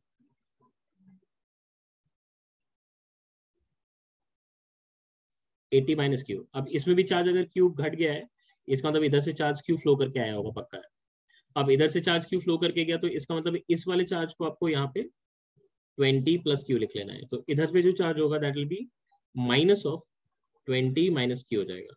सॉरी प्लस क्यू हो जाएगा। अब इसमें भी चार्ज अगर देखोगे तो घट गया है तो इसका मतलब इधर से चार्ज आपका क्यू फ्लो करके आ गया होगा। एंड अगर इधर से क्यू फ्लो करके आया है तो इसमें चार्ज आपका यहाँ पे फोर्टी प्लस क्यू आप लिख लोगे। ठीक है? तो अगर आप ध्यान से देखोगे तो आपके पास एक ही वेरिएबल आपने क्यू चूज़ किया है? और इस एक वेरिएबल के लिए आपको बस इक्वेशन लिख लेनी है। अब इक्वेशन कैसे लिखोगे आप? किसी भी एक पॉइंट से स्टार्ट करो जंक्शन के किसी भी एक पॉइंट से स्टार्ट करो और घूम के वापस से उसी एंड पे आ जाओ। तो जो net sum and rise of potential होना चाहिए वो मिला के कितना होना चाहिए? ज़ीरो होना चाहिए। डू यू अंडरस्टैंड दैट हाँ सर ठीक है? तो बस इसी कंडीशन को हम लोग यूज़ करेंगे। ठीक है? तो मैं क्या कर रहा हूँ यहाँ पे? I am starting from here ठीक है? मैं यहाँ से स्टार्ट कर रहा हूँ। And I move from here तो पहले अगर देखोगे तो आप आप लिखना शुरू करो। केवीएल अप्लाई कर रहे हैं तो केवीएल अप्लाई करेंगे। तो केवीएल लिखोगे तो आ जाएगा v will be q by c मतलब 40 plus q divided by c. C is 2 फिर सेकेंड वाले कैपेसिटर में देखो आप नेगेटिव से पॉजिटिव में मूव कर रहे हो। अच्छा नहीं, यहाँ पे ये तो ड्रॉप होगा। फिर नेक्स्ट में आपका राइज होगा। तो ये हो जाएगा आपका 80 minus of q divided by c which is 3 फिर आप प्लस से माइनस जा रहे हो मतलब minus of 20 plus q divided by four equal to zero देखो आपको समझ आई क्या इक्वेशन सर समझ आइए सभी को इक्वेशन अब यहाँ से बस इसको सिंप्लीफाई कर लेते हैं। तो यहाँ से आपके पास आ रही है एलसीएम तो इसका ट्वेल्व हाँ ट्वेल्व आ रहा है। ट्वेल्व एलसीएम हो जाएगा। So six minus of two forty q plus four four eight thirty two three twenty minus four q and minus of three मतलब three into twenty sixty and minus of three q and that has to be equal to zero so यहाँ से आपके पास आ रही है 240 और साठ, तीन सौ हो गए बीस बचेगा। तो ट्वेंटी इज़ इक्वल टू छ और चार, दस और तीन तेरह थर्टीन क्यू सो देखो क्यू का वैल्यू आ गया आपके पास twenty divide by thirteen that is the final answer final charge flown ये माइक्रोकुलम में आ गई है. This is charge flown charge flown है. मतलब जो वायर्स में चार्ज फ्लो की, ये हमने कैलकुलेट कर लिया है. अब आपको पूछा था इंडिविजुअल कैपेसिस में कितने चार्जेस हैं? तो इंडिविजुअल कैपेसिस का चार्जेस तो आप निकाल ही सकते हैं. आपको देखो, अगर C1 वाला कैपेसिटर देखोगे तो उसमें चार्ज कितना है? 40 प्लस क्यू है. अगर C2 वाला कैपेसिटर देखोगे तो उसमें चार्ज कितना है? 80 माइनस क्यू है. और C3 वाला कैपेसिटर देखोगे तो उसमें कितना है 20 प्लस क्यू है तो इंडिविजुअली सारे का चार्जेस मिल गए सो देखो charge on C1 is 40 plus Q. C2 is uh, 80 minus Q. हाँ 80 minus Q and C3 is 20 plus Q. 20 plus Q था ना हाँ Got it? I hope आपको सबको समझ आ गई है Yes, सर ठीक है? अभी तो बस कैलकुलेशन ही वो वाला पार्ट जस्ट मैं एक लाइन स्किप कर रहा हूँ। आई होप आपको समझ आ गई है आगे बढ़े यस सर ठीक है।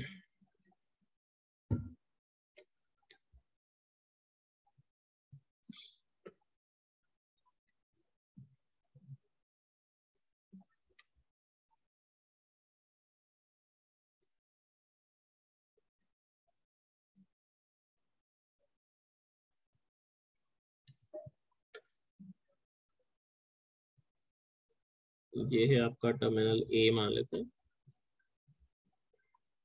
एंड ये है टर्मिनल बी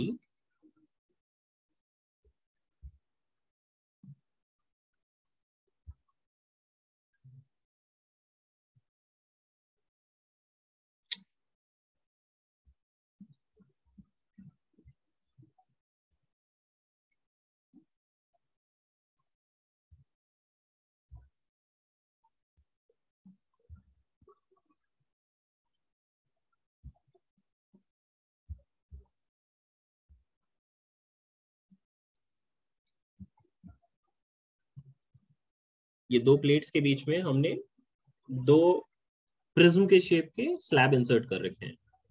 प्रिज्म का शेप आप समझ रहे हैं? हाँ सर ठीक है। ये देखो दो ट्राइंगुलर वेजेस की तरह आपको दिख रहे होंगे। एक का डायलेक्ट्रिक कांस्टेंट आपका K1 है और एक का डायलेक्ट्रिक कांस्टेंट K2 है। दोनों प्लेट के बीच की सेपरेशन हमें ये डी दे डी दे रखी है। एंड फॉर कन्वीनियंस मान लेते हैं these are square plates of side length l. And हमें पूछा है कैपेसिटेंस अक्रॉस ए बी कितनी होगी? आपको ये फाइंड करनी है। ठीक है we are suppose to find out capacitance across a and b अब इसको कैलकुलेट करने के लिए क्या करेंगे? हमें ऑब्वियसली यहाँ पे इंटीग्रेट करने का ही हेल्प करना, लेना पड़ेगा। तो आप क्या करोगे? एलिमेंट्स डिवाइड करोगे। अब एलिमेंट्स डिवाइड करने के लिए आपके पास दो ऑप्शंस है। या तो आप एलिमेंट्स डिवाइड करोगे तो ऐसा डिवाइड करोगे हॉरिजॉन्टल स्ट्रिप्स के एलिमेंट्स या फिर आप वर्टिकल स्ट्रिप के एलिमेंट्स डिवाइड करोगे। कौन सा करना चाहिए हमें? हॉरिजॉन्टल। हॉरिजॉन्टल। क्यों? रीजन क्या है? क्योंकि हम श्योर होके कह सकते हैं कि जो दो छोटे छोटे स्ट्रिप मिलेंगे वो दोनों सीरीज़ में हो जाएँगे। है ना? हाँ। बट वर्टिकल वाले में हम ये श्योर होके नहीं कह सकते कि वो दोनों क्या है पैरेलल में राइट? हाँ है ना? सर। ये ऑलरेडी हमने लास्ट क्लास में डिस्कस किया था। तो इसीलिए हमारा जो ऑब्जेक्टिव होगा मैं वहीं से स्टार्ट कर रहा हूँ। तो मैंने यहाँ पे क्या किया यहाँ पे इसको दो ऐसे पतले पतले स्ट्रिप्स में डिवाइड कर दे रहा हूँ ऐसे। टू थिन स्ट्रिप्स एंड यहाँ से मान लेते हैं कि ये डिस्टेंस हमने जो चूज़ किया है, ये हमने वाई डिस्टेंस पे चूज़ किया है एंड ये डी वाई थिकनेस का है, ठीक है? डी वाई थिकनेस का है। तो इधर से ये वाली जो डिस्टेंस होगी, ये वाली डिस्टेंस इसको अगर x कह रहे हैं तो ये x हम सिमिलैरिटी ऑफ़ ट्राइंगल से निकाल सकते हैं ना? हाँ ये छोटी ये छोटी वाली ट्रायंगल और ये बड़ी वाली ट्रायंगल देखो इन दोनों में आपका सिमिलैरिटी लगाओ आपको तुरंत y और x का रिलेशन मिल जाएगा। तो ये y और x का रिलेशन पहले लिख लेते हैं तो y by x can be written as l by d हो जाएगा। ठीक है तो इससे हमें x और y का एक रिलेशन मिल चुका है। अब इसमें जो दो कैपेसिटर हमारे पास बन रहे हैं एक है हमारा ये वाला कैपेसिटर है ये वाला पतला सा स्ट्रिप जो है capacitor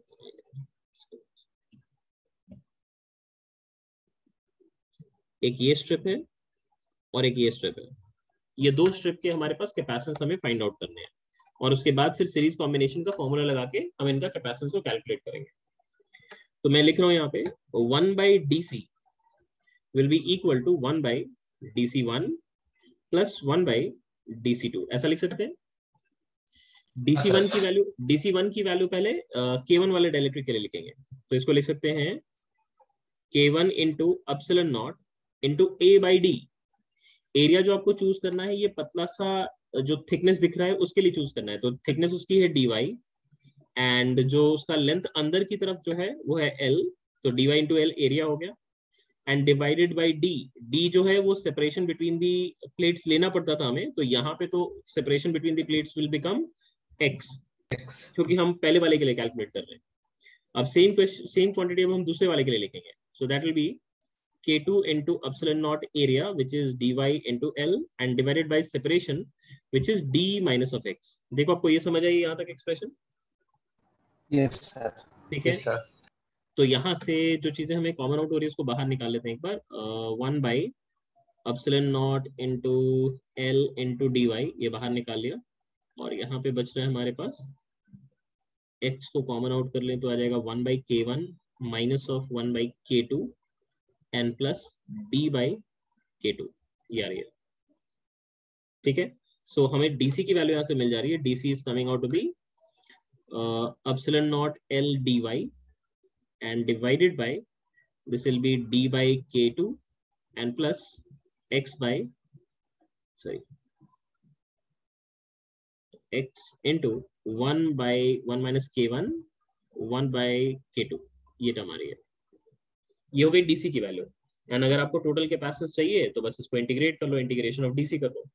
so integration of DC करते वक्त एक चीज़ का बस ध्यान रखो कि यहाँ पे dy भी है और x भी है. और dy और x को एलिमिनेट करने के लिए यहाँ पे आपके पास वेरिएबल का हेल्प मिलेगा आपको. तो यहाँ से आप ऐसा कर सकते हो कि किसी एक को एलिमिनेट कर लेते हैं तो dy की value can be written as l by D and into dx लिख सकते हैं. तो dy को एलिमिनेट कर देते तो l by D into dx लिख लेंगे. So that will be epsilon not l and dy को लिखा हमने l by D into dx. तो l स्क्वायर बाई डी ये बाहर निकल गया।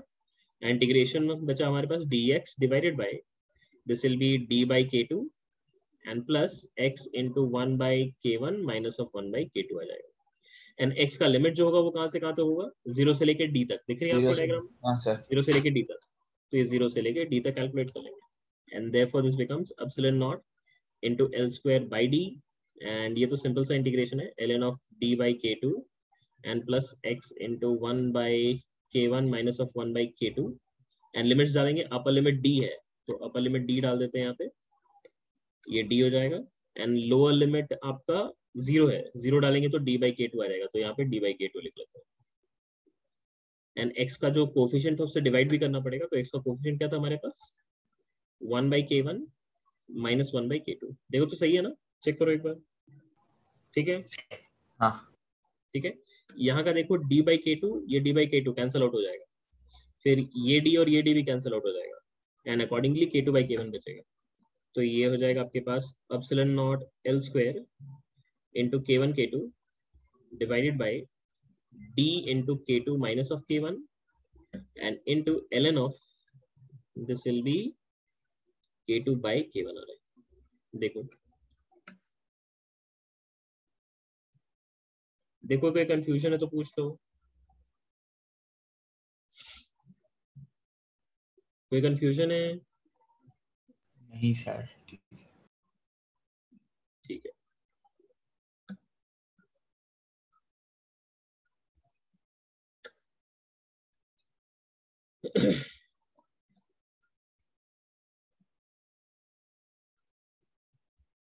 है just a second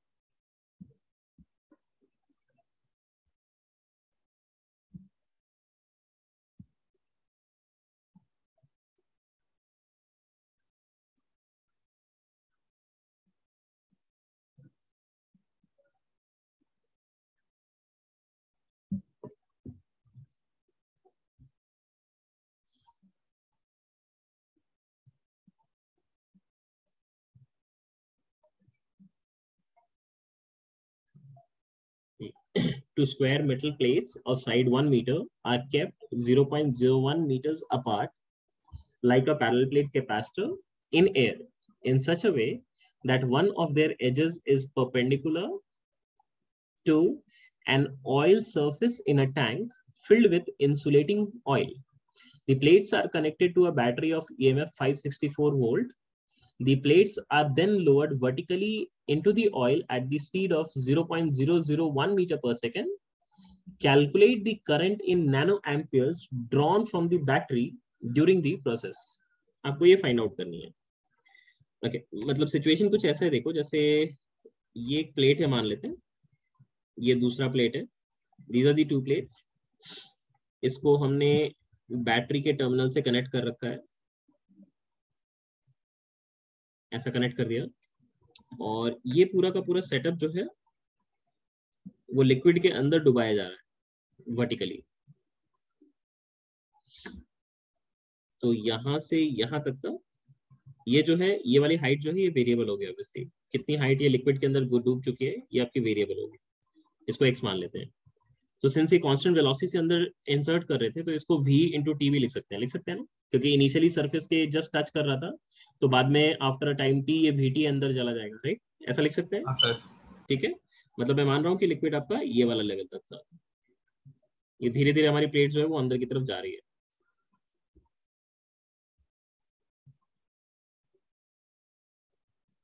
These plates are being pulled inside. This is getting inside v ये भी v के से अंदर जा रहा है। तो अगर आप देखोगे तो इसको हम ऐसे ट्रीट कर सकते हैं कि बेसिकली ये दो सेपरेट कैपेसिटर C1 C2 का पैरल कॉम्बिनेशन है देखो। यहाँ पे कैपेसिटर है कैपेसिटर C1 का यहाँ पे कैपेसिटर है C2 का और ये पैरल कॉम्बिनेशन है। दिख रही है आपको? हाँ सर ये वाली जो सेपरेशन है ये वाली जो सेपरेशन है इस सेपरेशन को लिख सकते हैं ये एल माइनस एक्स होगा क्योंकि स्क्वायर प्लेट्स क्या रखा उसने? साइड लेंथ एल का। तो ये स्क्वायर प्लेट के लिए अकॉर्डिंगली साइड लेंथ L दिया हुआ था। तो L हमने चूज़ कर लिया। अब सी इक्वेलेंट अगर लिखेंगे सी इक्वेलेंट जो होगा that will be C one plus C two parallel combination so C one की value will be epsilon not into area which will be L minus X into L divided by separation which is D ये वाली separation को मैं D ले रहा हूँ। ये separation हम चेंज नहीं कर रहे हैं। And plus C two C two will be इसका dielectric constant K into epsilon not into L X and divided by D epsilon not into L by D को कॉमन आउट कर लेते हैं। और यहाँ पे बचेगा हमारे पास L and plus K minus one into X ये कैपेसिटेंस की वैल्यू हो गई है। जैसे ही आपको कैपेसिटेंस मिल गया तो ऑब्वियसली आपको चार्ज मिल जाएगा कि कैपेसिटर में कितनी चार्ज है। इस बैटरी की ईएमएफ को अगर वी मान रहे हैं तो क्यू की वैल्यू को आप लिख सकते हो कितनी चार्ज आएगी? So Q will be C into V लिखेंगे। So that will be epsilon into L V divided by D and this multiplied with L plus K minus one into X हो जाएगा। अगर आप देखोगे तो जैसे जैसे एक्स बढ़ रहा है इसका मतलब क्या है? चार्ज बढ़ रहा है। और अगर चार्ज बढ़ रहा है तो ऑब्वियसली ये तो इस इस बैटरी के थ्रू होके ही जा रहा है। तो यहाँ पे ये जो करंट होगा ये करंट की वैल्यू अगर लिखनी है आपको। तो जो भी चार्ज यहाँ पे आप डिपॉजिट कर रहे हो इसका रेट ऑफ़ डिपॉजिट ही तो चार्ज का करंट होगा ना वायर में। है नहीं है? ये प्लस क्यू एंड ये माइनस क्यू तो ये करंट की वैल्यू को क्या ले सकते हैं? डी क्यू डी लिखेंगे ना? लिख सकते हैं? हाँ सर लिख सकते हैं। तो बस इसकी वैल्यू को लिख लो। सो देखो करंट चाहिए थी तो current will be D Q divided by D D कर लेंगे। And D Q by D जैसे किया तो अब not L V by D and यहाँ पे एल का constant differentiation zero and plus K minus one and into D X by D T हो जाएगा।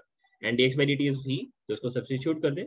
सो so, ये हो जाएगा epsilon not L into capital V into small V into K minus one and that divided by D अब values को बस substitute करना answer आ जाएगा। अपसिलन नॉट की value is 8.85 into ten to power minus twelve तो 8.85 into 10 to the power minus 12 sorry. 12 into length. Length कितना दिया हुआ था? शायद 1 मीटर दिया था 1 metre and potential difference battery का जो कितना दिया था? 564 फिर वेलोसिटी दिया हुआ था 0.001 0.001 मतलब 10 to the minus 3 and k minus 1 k का वैल्यू कितना दिया हुआ था?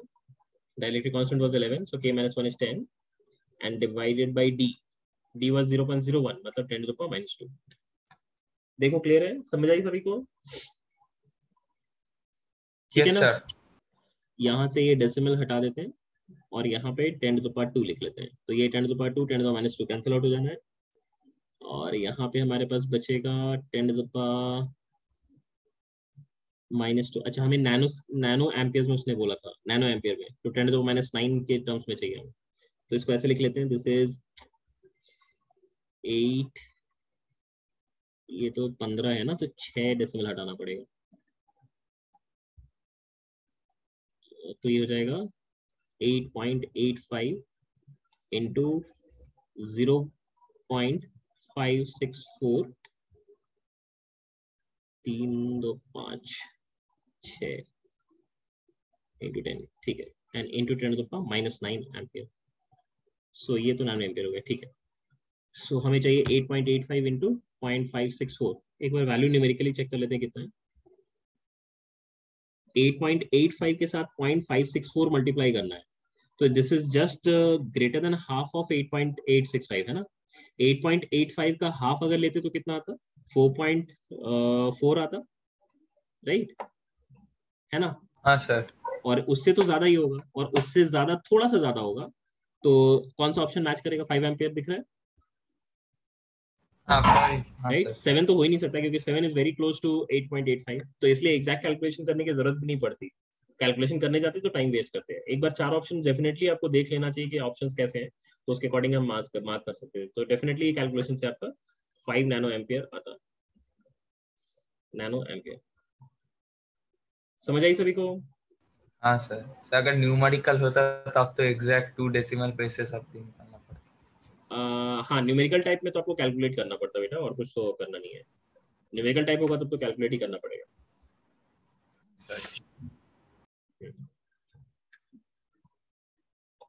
चलो नेक्स्ट क्वेश्चन पे मूव करते हैं।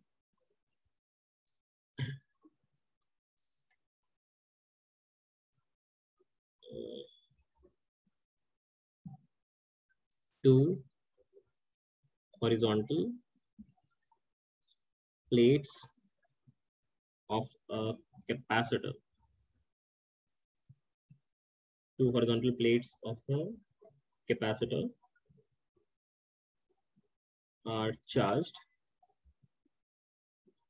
with plus Q and minus Q respectively. Two horizontal plates of a capacitor are charged with plus Q and minus Q respectively. One of the plate is completely submerged inside. One of the plate is completely submerged inside an insulating liquid of density rho and dielectric constant K.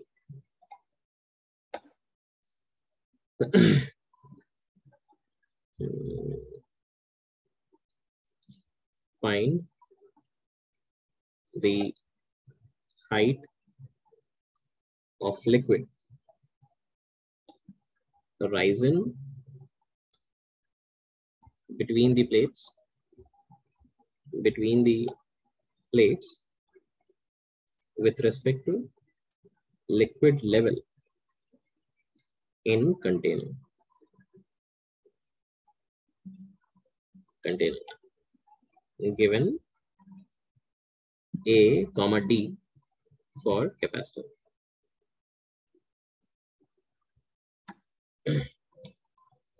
question को एक बार diagram से describe कर देते हैं question का क्या meaning है?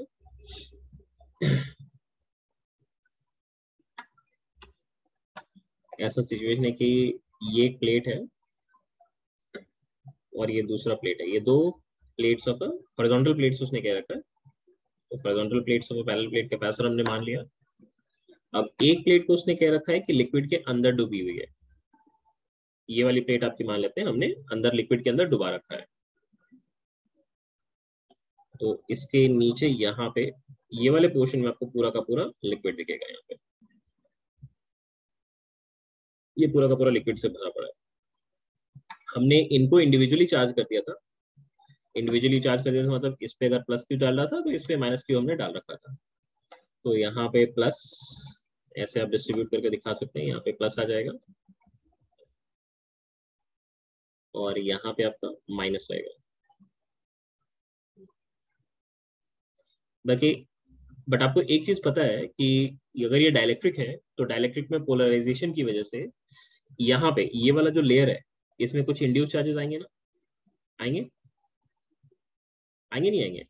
आएँगे सर और यहाँ पे नेगेटिव चार्जेस अगर इंड्यूस होगा तो ये नेगेटिव पॉजिटिव से तो अट्रैक्टेड होगा? होगा नहीं? तो ऊपर उठेगा ना ये? हाँ सर हाँ. राइट तो यहाँ से लिक्विड क्या होगा? थोड़ा सा ये मतलब अपने सरफेस के जो जितना कंटेनर में लेवल ऑफ़ लिक्विड है, उससे थोड़ा सा ये ऊपर की तरफ़ उठ जाएगा। तो यहाँ से मैं इसको दिखा रहा हूँ कि ये इस लेवल से थोड़ा सा ऊपर की तरफ़ आपका राइज कर जाएगा।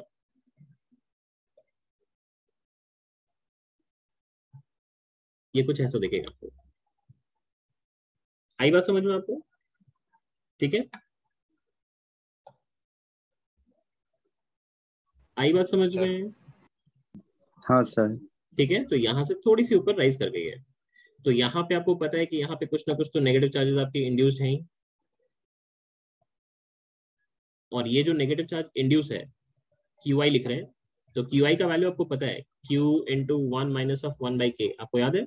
इंड्यूस चार्ज की value in terms of inducing charge याद है आपको? हाँ ठीक है?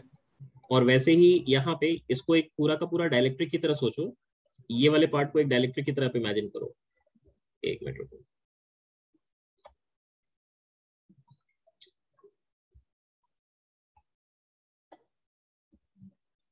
आप यहाँ से यहाँ तक का ये जो लिक्विड दिख रहा है इसको एक डायलेक्ट्रिक की तरह सोचो। तो ऐसा तो नहीं है कि डायलेक्ट मतलब सिर्फ़ और सिर्फ़ ऊपर के सरफेस पे चार्ज है नीचे के सरफेस पे भी तो चार्ज होगा ना? होगा नहीं होगा? होगा? होगा तो यहाँ पे आपका क्या होगा? यहाँ पे वही चार्ज आपका जो ऊपर में नेगेटिव था वही नीचे में क्या होगा? आपका पॉजिटिव भी रहेगा। तो यहाँ पे आपका प्लस क्यू आई आपका चार्ज इंड्यूस होगा। गेटिंग है समझ आइए यस सर अब इन दोनों को मिला के इन दोनों को मिला के टोटल चार्ज नीचे के प्लेट पे जो दिख रहा है नीचे के प्लेट के पास में वो कितना दिख रहा है? Minus of Q and plus of Q I इसको मिला के अगर देखोगे तो माइनस ऑफ़ क्यू बाई के आ रहा है। दिख रहा है आपको? देखो एक बार चेक करो। हाँ हाँ हाँ सर ठीक है? तो माइनस ऑफ़ क्यू बाई के एक के का चार्ज है। मतलब अब अगर मैं ये राइजन लिक्विड का, अगर फ्री बॉडी डायग्राम ड्रॉ करूँ, free body diagram for risen liquid F B D for risen liquid.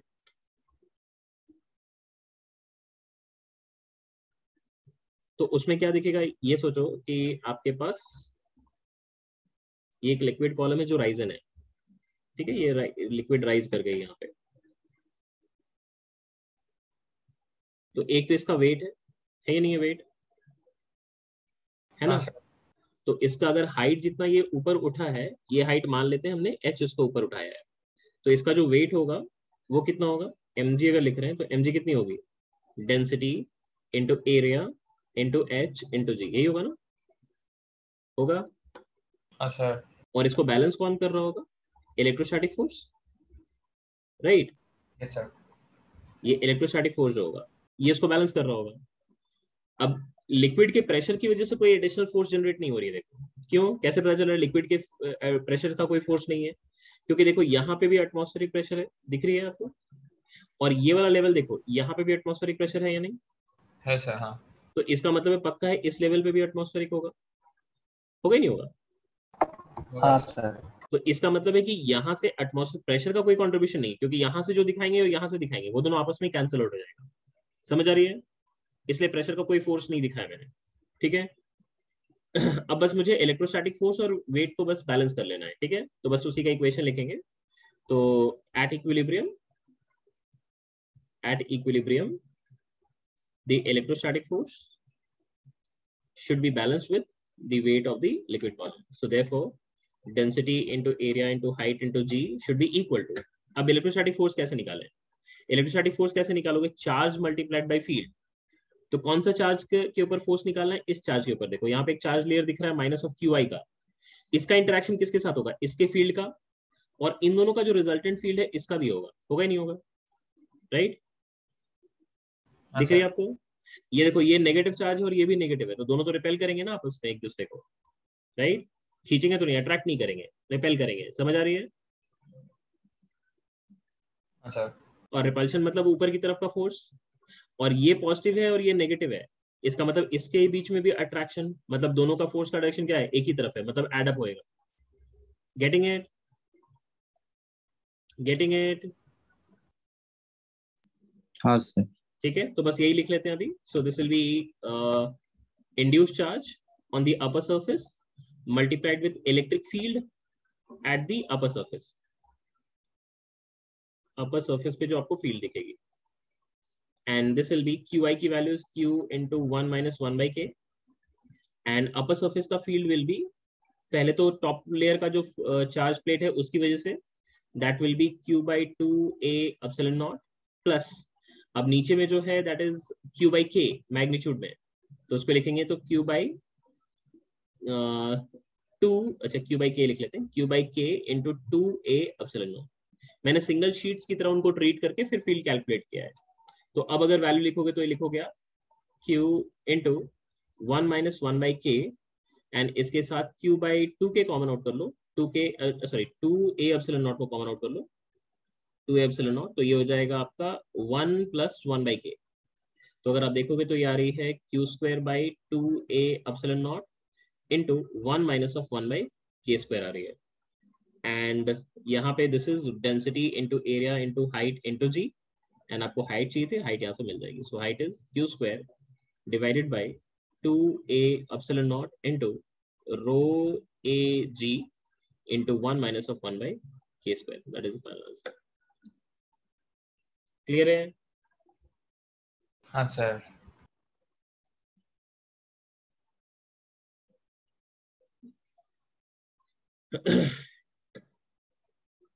ठीक है, चलो अभी आगे बढ़ते हैं।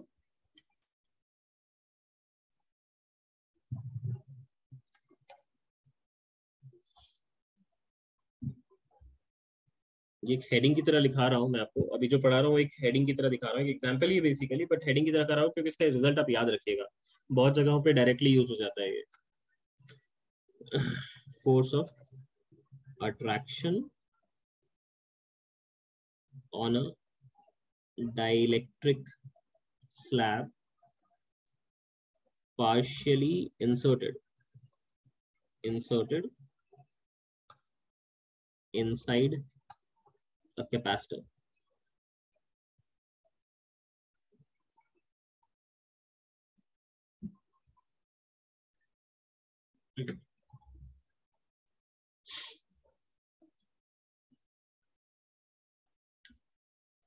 Diagram थोड़ा सा बनाने में मुझे मेहनत करना पड़ेगा थोड़ा सा पेशेंस रखिए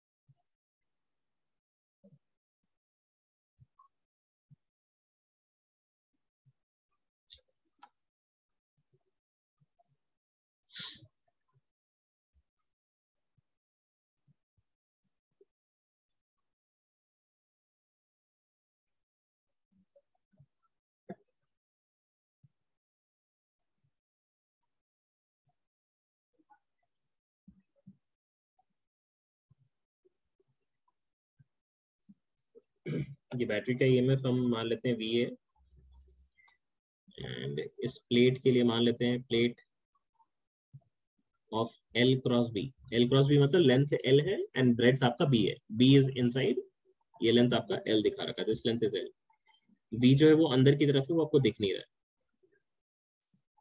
ऑब्वियसली इसमें कुछ चार्जेस आएँगे. तो चार्जेस हमने यहाँ पे कुछ ना कुछ दिखा दिए. Let us say these are the charges acquired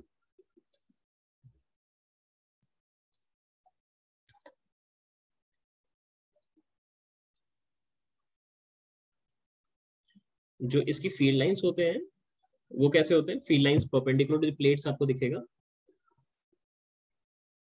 ये फील लाइंस आपको कुछ ऐसे दिखने हैं। ये बिटवीन दी प्लेट्स आपको दिखने हैं फील लाइंस ऐसे। बट ये field lines between the plates जो हम दिखा रहे हैं, ये तो प्लेट्स के बीचों बीच में है। अगर आप प्लेट से थोड़ा बाहर की तरफ़ अगर जाएँगे मतलब बाहर की तरफ़ अगर आप मूव करते हैं तो फ़ील्ड लाइंस का डायरेक्शन कैसा दिखता है? फ्रिंज करता है ना फील लाइंस याद है आपको? हाँ सर आपको याद है फ्रिंजिंग ऑफ़ फील लाइंस याद है आपको टर्म पैरेलल प्लेट्स के लिए हमने पढ़ा है। ये डू रिमेम्बर यस सर तो यहाँ पे ये हम बिना फ्रिंजिंग के दिखा रहे हैं ये बीच में दिखा रहे हैं। बट अगर एजेस की तरफ़ जाओगे तो आपको फ़ील्ड को थोड़ा सा फील लाइंस को फ्रिंज करता हुआ दिखाना है। फ्रिंजिंग ऑफ़ फील लाइंस आपको दिखानी है। ये जो बेंडिंग होती है आपको दिखानी है। ये काफ़ी इंपॉर्टेंट है यहाँ पे इस पर्टिकुलर आर्टिकल के लिए। इससे मैं यहाँ पे इसको स्पेसिफिकली डिस्कस कर रहा हूँ। ऐसे फ्रिंजिंग हो रही होगी लाइन की।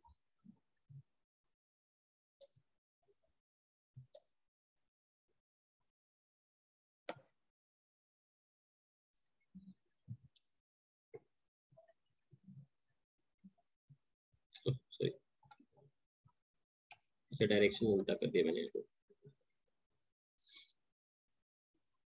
ये रही फील लाइंस की डायरेक्शन अब हमने क्या कर रखा है यहाँ पे? एक डायलेक्ट्रिक स्लैब लिया और उस डायलेक्ट्रिक स्लैब को हम लोग यहाँ पे इंसर्ट करने वाले हैं।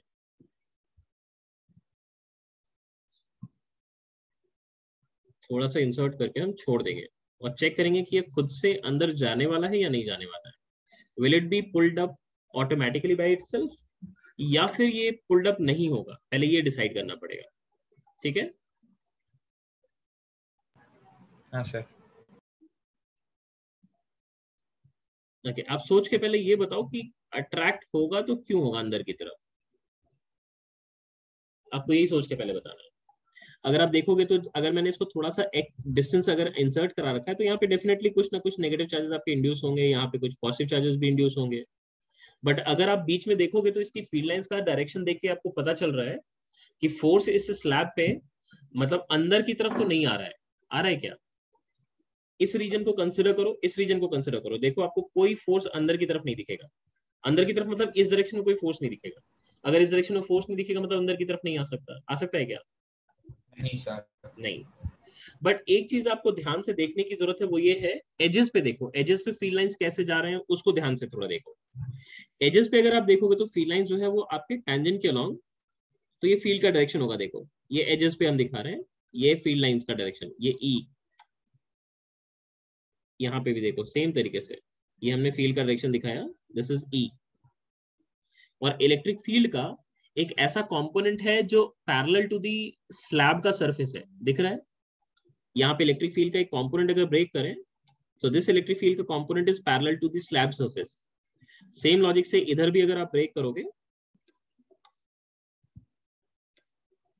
तो इधर पे भी आप दिखा सकते हो यहाँ पे इलेक्ट्रिक फ़ील्ड का component parallel to slab surface दिख रही है आपको? दिख रही है? सर हाँ।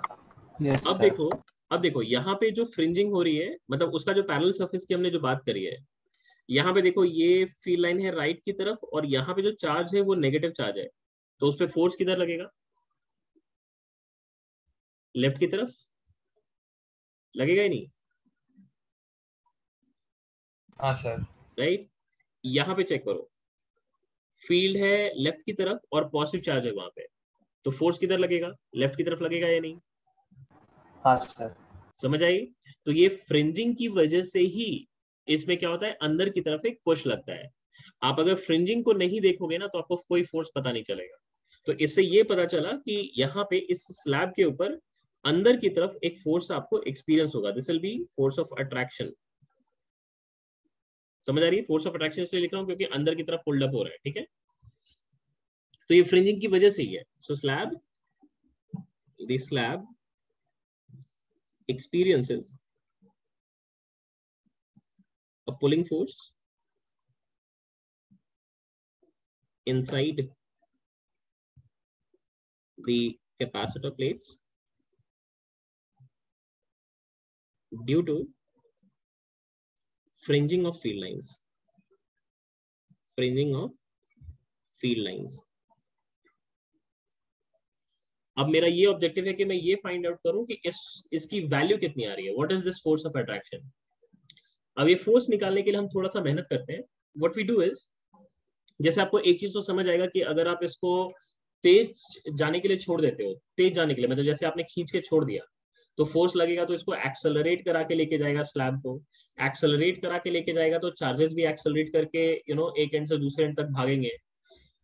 चार्जेस एक एंड से दूसरे एंड तक भागने का मतलब यहाँ से उठ के यहाँ पे जाएगा चार्जेस में तो चार्जेस जब भी फ्लो करता है कैपेसिटिव सर्किट्स में वहाँ पे हीट एनर्जी का भी डिसिपेशन होता है। तो हीट एनर्जी भी जनरेट होगी। तो इसमें मतलब अगर आप क्विक क्विकली भगाओगे ना तो इधर से आपको हीट एनर्जी की वजह से मतलब हीट एनर्जी जो आएगा उसकी वजह से आप ये फाइंड आउट नहीं कर पाओगे कि कितना फोर्स इसमें लग रहा है। तो हम क्या करते हैं? ऐसा काम करते हैं। वट वी डू इज़ हम एज एन एक्सटर्नल एजेंट इसको बाहर से पकड़ के रख लेते हैं। व्हाट वी डू इज़ कि हम इसको मान लेते हैं, बाहर से एज एन एक्सटर्नल एजेंट मैं इसको पकड़ के रख लिया इधर से ये एक्सटर्नल एजेंट है। This is force of external agent मैं इसको पकड़ के रखूँगा। तो मुझे इसको इक्विलिब्रियम में पकड़ने के लिए कितना फोर्स चाहिए? एग्जैक्टली exactly उतना ही जितना पुलिंग फोर्स है अंदर की तरफ़। Right right? है ये नहीं है? हाँ सर हाँ।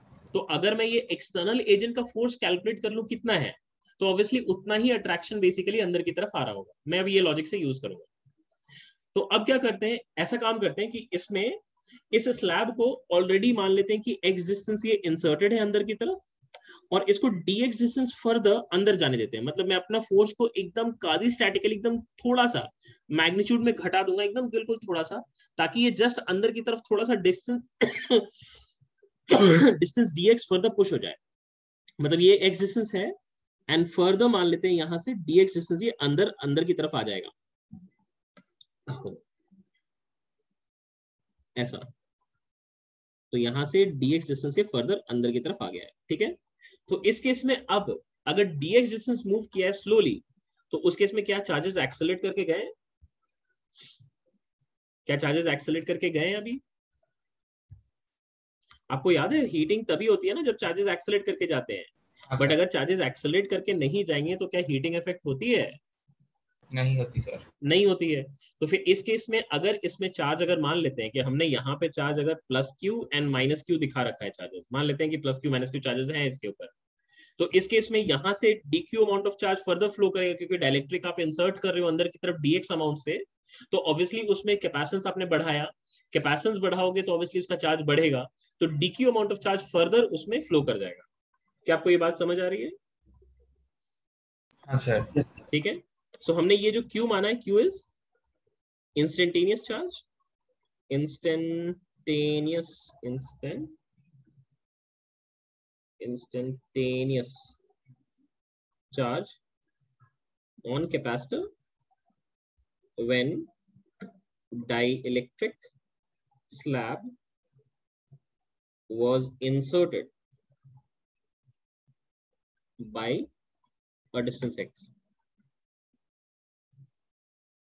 and हमने ये माना है कि dq dq is charge flown through battery when capacitor is pulled a distance dx further pulled a distance, dx further, slowly. Slow insertion है, इसका मतलब no heat dissipation no heat dissipation अब हम क्या करेंगे? वर्क एनर्जी थ्योरम अप्लाई कर लेते हैं. So applying work energy theorem work energy theorem in this flow of DQ DQ charge के फ्लो में हम वर्क एनर्जी थ्योरम कैलकुलेट कर रहे हैं। तो कौन कौन यहाँ पे वर्क किया है? एक वर्क किया है डी डब्ल्यू बैटरी ने। D W is the work done by battery plus D W is the work done by external agent and that should be equal to du the change in energy of capacitor ठीक है? Energy और कहीं तो गया नहीं loss of हुआ नहीं है हीट डिसिपेट नहीं हुआ, इसलिए कोई लॉस नहीं हुआ है। तो टोटल एनर्जी जो है आपका कंजर्व रहना चाहिए, बस वही हमने यूज़ किया है यहाँ पे। तो वर्क डन बाई बैटरी कितनी होगी? Charge flown which is D Q multiplied with E M F V लिख लिया। एक्सटर्नल एजेंट ने कितना वर्क किया? Minus of F external into D X negative क्यों लगाया? क्योंकि उसका पुलिंग फोर्स बाहर की तरफ़ था एंड स्लैब अंदर की तरफ़ गया है तो इसलिए minus of F D X लिखना पड़ेगा। डी की वैल्यू कितनी लिखोगे? सॉरी डी की वैल्यू कितनी लिखोगे? D U will be half of D C into V square लिख सकते हैं क्या? क्योंकि वी तो। कांस्टेंट है ना। वी कांस्टेंट है तो हाफ़ सी वी स्क्वायर का डिफरेंशियल लोगे तो half D C into V square ही तो आएगा। अब डी क्यू की वैल्यू को क्या लिख सकते हो? डी सी इंटू वी लिख सकते हो क्या? क्योंकि क्यू की वैल्यू सी वी लिखते हैं। तो डी क्यू की वैल्यू कितनी लिखोगे? डी सी इंटू वी लिखोगे ना? लिखोगे? समझ आ रही है आपको? हाँ सर तो एफ़ एक्सटर्नल की वैल्यू देखो आ गई है F external is coming out to be half of D C by D X and into V square आ रही है। दिख रही है आपको? यस सर इसको इन शॉर्ट आप इतना याद रख सकते हैं मतलब इसको ऐसे याद रखिए रिज़ल्ट की तरह कि this is simply magnitude of D U by D X ये तो आपको पहले से पता है या नहीं पता है? आप बताओ मैग्नीट्यूड ऑफ़ फोर्स जब आप निकालते हो एनर्जी के टर्म्स में तो D mod of D U by D X करके निकालते हो या नहीं निकालते हो? हाँ निकाल तो बस यही कर लेना। इतना मैं आपको डिराइव करके दिखाया कि ये एक्सप्रेशन एक्जैक्टली यही आता है। बुक्स में आप देखोगे तो directly D U by D X करके निकाल लेते हैं। वो इतना एक्सप्लेन नहीं करते कि कहाँ से आ रहा है ये। बट ये तभी वैलिड है जब कोई हीट डिसिपेशन नहीं होता। स्लो इंसर्शन में ये वैलिड है। तो इसलिए हम यहाँ पे ये एफ़ एक्सटर्नल की वैल्यू को कैलकुलेट कर सकेंगे इस वैल्यू को इजीली यूज़ करके ठीक है? तो आप इसको ऐसे याद रखिएगा। ये याद रखना आसान है कि फोर्स निकालनी है तो बस mod of D U by D X कर लेंगे। एंड यू निकालने के लिए क्या करेंगे? हाफ़ ऑफ़ सीवी स्क्वायर कर लो। मतलब हाफ़ सीवी स्क्वायर करो एंड देन अकॉर्डिंगली कैलकुलेट कर लो। क्लियर है सभी को? यस हाँ सर clear है? Here u is half of c at position x and into v square कर लेंगे ठीक है? अब c at position x कितनी लिखेंगे? Half of ये देखो। अगर x इंसर्टेड था तो ये दो पैरेलल का कॉम्बिनेशन ही है ना। एक पार्ट है आपका ये वाला पार्ट जो डायलेक्ट्रिक से भरा है और एक ये वाला पार्ट है जो एयर फ़ील्ड कैपेसिटर है। इन दोनों का पैरल कॉम्बिनेशन ही है ना? यस सर राइट तो दोनों का पैरल कॉम्बिनेशन का एक कैपेसिटेंस लिख लेते हैं। सो so, C की वैल्यू लिख रहे हैं पहले। C1 वन प्लस सी लिख लें। तो C1 वन इज़ डायलेक्ट्रिक वाले पार्ट का ही लिख लेते हैं।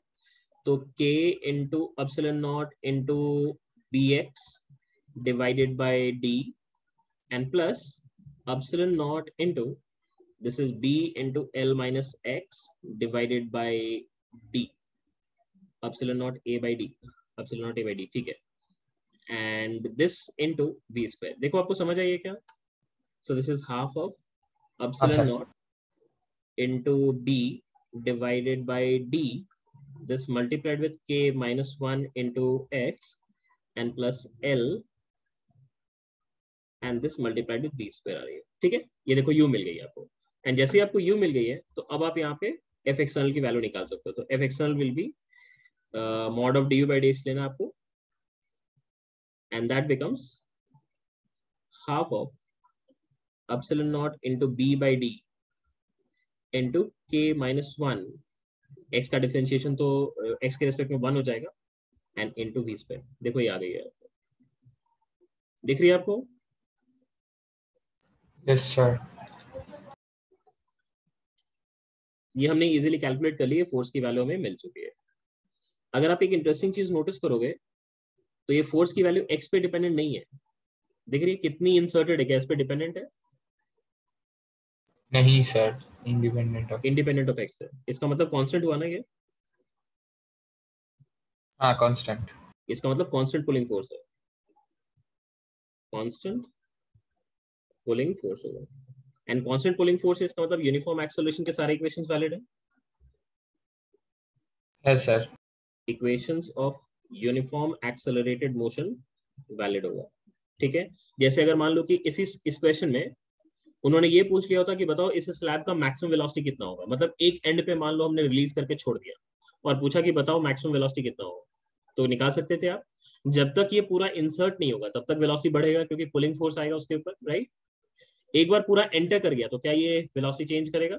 नहीं, क्योंकि एक बार पूरा एंटर कर गया, उसके बाद तो वेलोसिटी चेंज नहीं करेगा क्योंकि फ्रिंजिंग में होगा ही नहीं। तब तो पूरा का पूरा अंदर ही घुस जाएगा।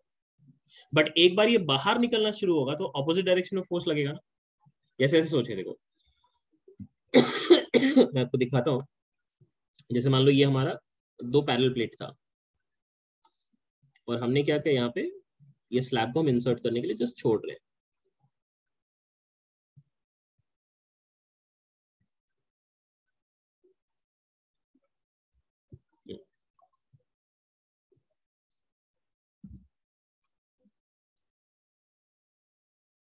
ठीक है? तो इस केस में ये अंदर की तरफ़ आपका फोर्स ये एक्सपीरियंस करता है।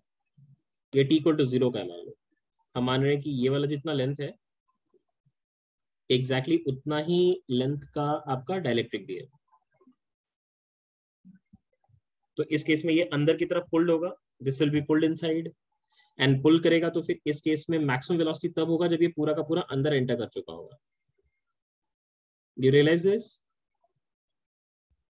yes sir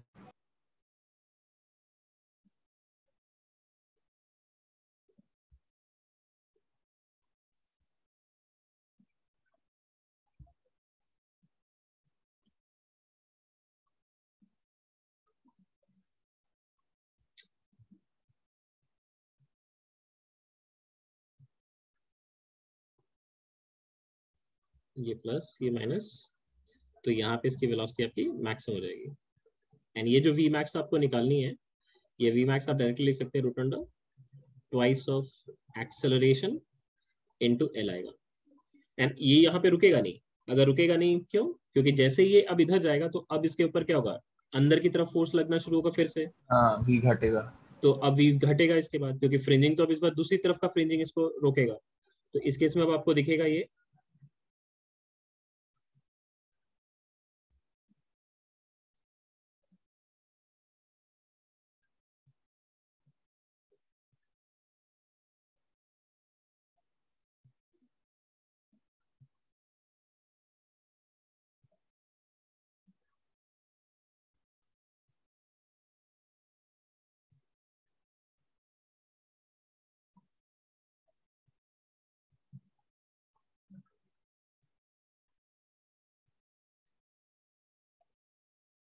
इस बार ये इस तरफ़ फोर्स एक्सपीरियंस करेगा तो इसकी वेलोसिटी आपकी डिक्रीज कर जाएगी।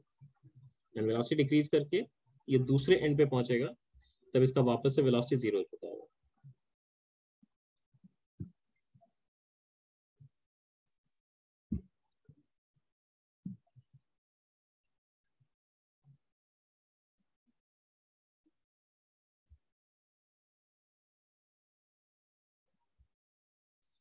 यहाँ पे वेलोसिटी ज़ीरो हो जाएगी इसकी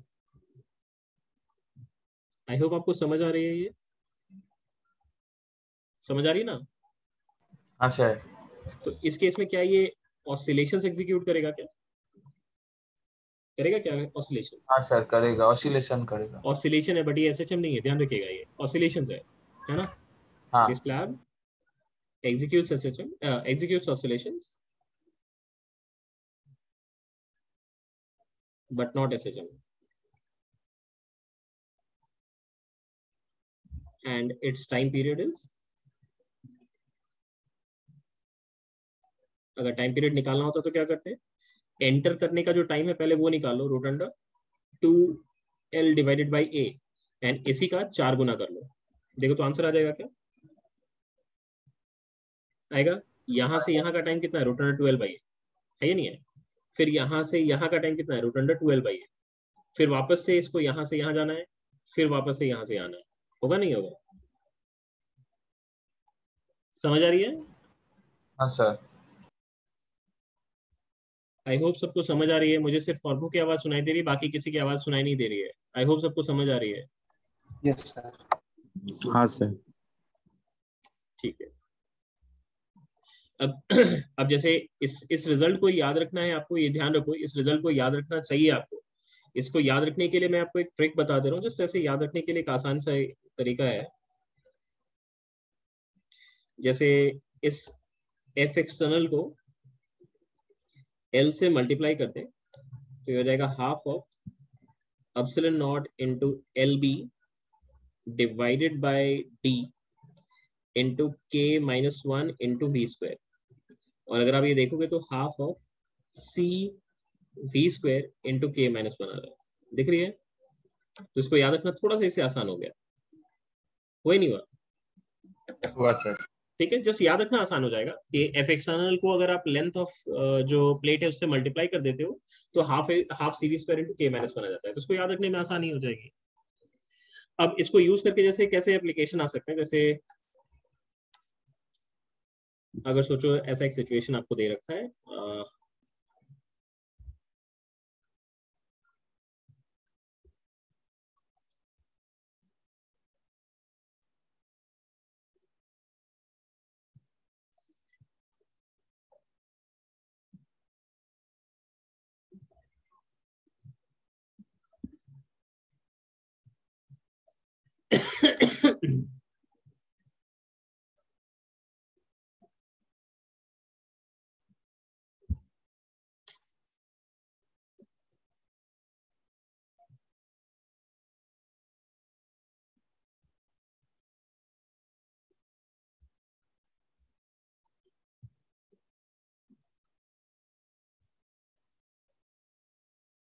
अच्छा ठीक है हैं, तो रखिए।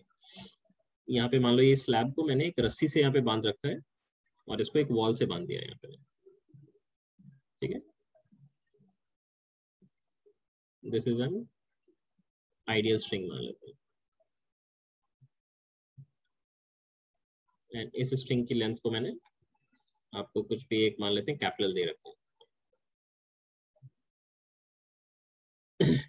इसकी डायलेक्ट्रिक कांस्टेंट के है। ये बैटरी एमएफ वी का है। प्लेट्स आपको एरिया ए का दे रखा है। एंड ये वाली सेपरेशन आपको डी दे रखी है। देवास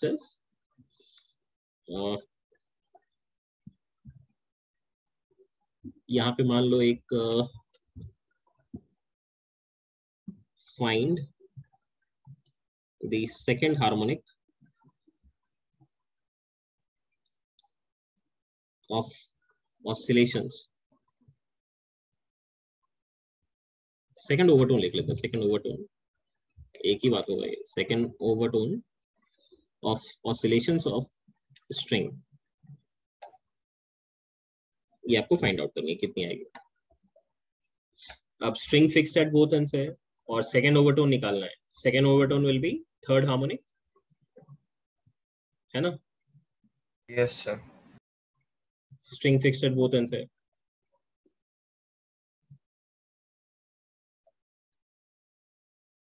अब ये वाली अगर फ्रीक्वेंसी आपको चाहिए तो आप इसको लिख सकते हैं this will be three times of velocity of wave and divided by two times of length velocity of wave कैसे निकालते हैं आप?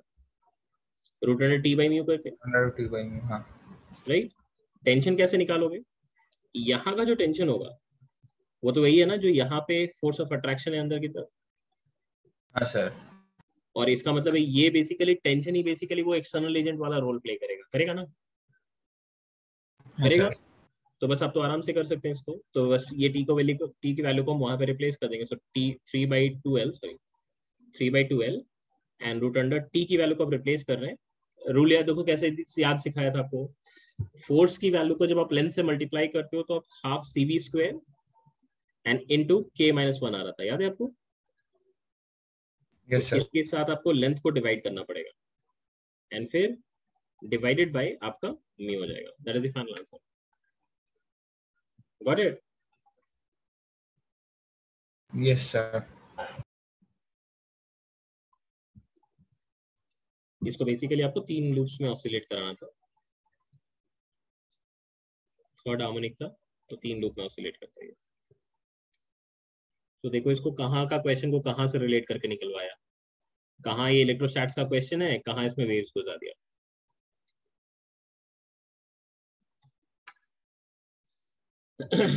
इसी में, जैसे मैंने आपको जो क्वेश्चन कराया इसमें ध्यान दो, मैंने जो आपको क्वेश्चन कराया इसमें बैटरी कनेक्टेड था।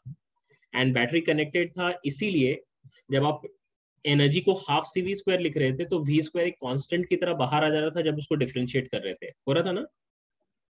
राइट हाँ सर बट इमेजिन करो कि ये कैपेसिटर के प्लेट्स को अगर मैंने चार्ज करके छोड़ दिया होता ये कैपेसिटर के प्लेट्स को मैंने चार्ज करके फिर छोड़ दिया होता तो फिर क्या होता? तब इस बार इस बार चार्ज कांस्टेंट होता और अगर चार्ज कांस्टेंट होता तो इस बार एनर्जी को जब आप लिखते तो क्या लिखते आप? यू की वैल्यू को Q square by two C लिखते क्योंकि इस बार चार्ज कांस्टेंट है। और Q square by two C लिखते तो अब वन बाई सी का डिफरेंशिएशन होता सी का डिफरेंशिएशन नहीं होता समझ आ रही है आपको? हाँ सर एंड इसमें देखो सी का एक्सप्रेशन तो चेंज नहीं करेगा सी का एक्सप्रेशन तो हमने जो यहाँ निकाल रखा है वही है। सी का एक्सप्रेशन तो ऑलरेडी जो हमने लिखा वही है। ये वाली एक्सप्रेशन ही हमारी सी की एक्सप्रेशन है देखो। ये वाली एक्सप्रेशन ही सी की एक्सप्रेशन है। तो अगर वन बाई सी को डिफरेंशिएट करना पड़ा तो क्या इस बार कॉन्स्टेंट आएगा? वन बाई सी का डिफरेंशिएशन क्या इस बार कांस्टेंट आएगा? नहीं आएगा। सी का कांस्टेंट डिफरेंशिएशन एक कांस्टेंट है। बट वन बाई सी का डिफरेंशिएशन इस बार कांस्टेंट नहीं आता। और इससे आपको ये पता चलता कि इस बार वेरिएबल फोर्स होता। है समझ आ रही है? ये याद रखना कि कांस्टेंट फोर्स ये जो कांस्टेंट फोर्स है ये कांस्टेंट फोर्स तभी है जब बैटरी कनेक्टेड है। अगर ये बैटरी कनेक्टेड नहीं होता अगर ये कैपेसिटर को चार्ज करके आपने छोड़ दिया होता तो फिर आपका जो फोर्स होता वो एक वेरिएबल फोर्स आता। क्लियर है सभी को? हाँ, हाँ सर। ठीक है इसको जस्ट मैं मेंशन कर देता हूँ ये ध्यान रखेगा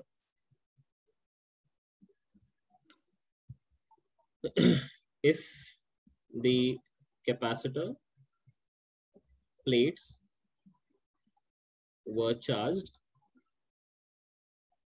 and charging battery was removed from removed basically the charging battery was removed then u की value would be q square by 2 times of cx लिखते हैं c at position x basically so therefore force of attraction अगर आप calculate करते so that would be mod of du by dx and that would be q square by 2 times of minus of 1 by cx का square minus को हटा रहे हैं क्योंकि मुझे सिर्फ़ मैग्नीट्यूड चाहिए। एंड फिर डीसी बाई डी करते हैं। डीसी बाई डी ये कांस्टेंट आता फिर से। This would be constant but C X जो है ये तो वेरिएबल होता ना। हाँ सर समझ आ रही है? एंड स्पेसिफिकली अगर सी एक्स की वैल्यू अगर आप देखोगे तो जैसे जैसे एक्स बढ़ेगा सोचो ये जितना ज़्यादा इंसर्ट होगा ये जितना ज़्यादा इंसर्ट होगा तो डायलेक्ट्रिक अंदर इंसर्ट होने से कैपेसिटेंस बढ़ता है या नहीं बढ़ता? बढ़ता है ना? हाँ राइट तो जैसे जैसे ये अंदर एंटर करता जाएगा कैपेसिटेंस और बढ़ता जाएगा। और अगर कैपेसिटेंस बढ़ता जाएगा तो फोर्स क्या होगा? डिक्रीज करता चला जाएगा। समझ आ रही है? So therefore as capacitance increases with increase in x, thus force of attraction attraction decreases with increase in x. Clear हुई सभी को? मेथड वही होता बट जस्ट uh, एक केस में वेरिएबल मिल रहा है एक केस में कांस्टेंट मिल रहा है आपको। ठीक है? समझ आई सभी को? यस सर यस सर आज के लिए एक छोटा सा लास्ट मतलब ये एक अच्छा कंसेप्चुअल क्वेश्चन है। Infinite grid infinite grid of capacities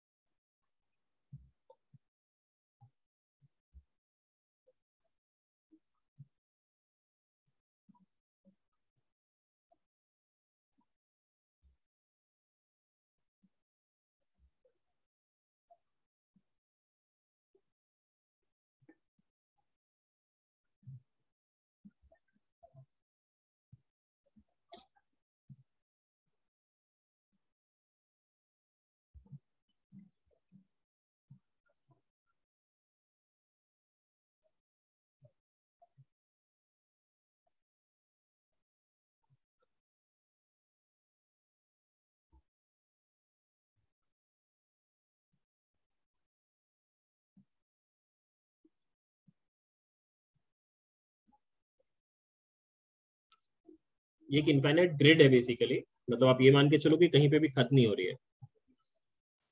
और इसके किसी भी दो ब्रांचेस के बीच में मतलब दो एंड्स के बीच में आपको एक एक कैपेसिटर इमेजिन करनी है।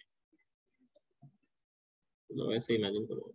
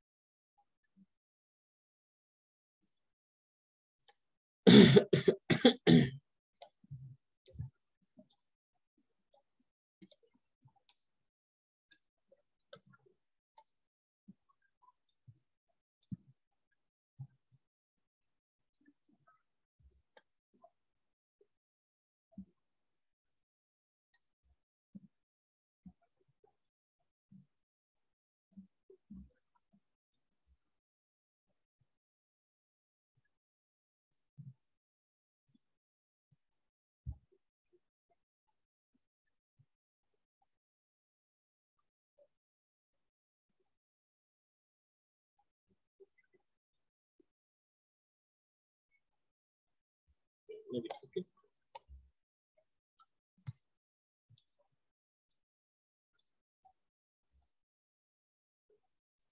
हमें इस इनफाइनाइट ग्रेड का बेसिकली कैपेसिटेंस फाइंड आउट करना है।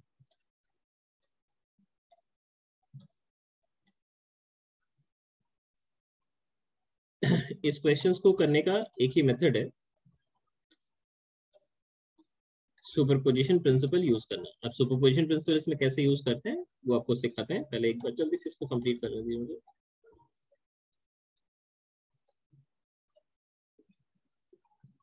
ज़्यादा बना दिया मैंने। थोड़ा कम बना दे तो भी चलता।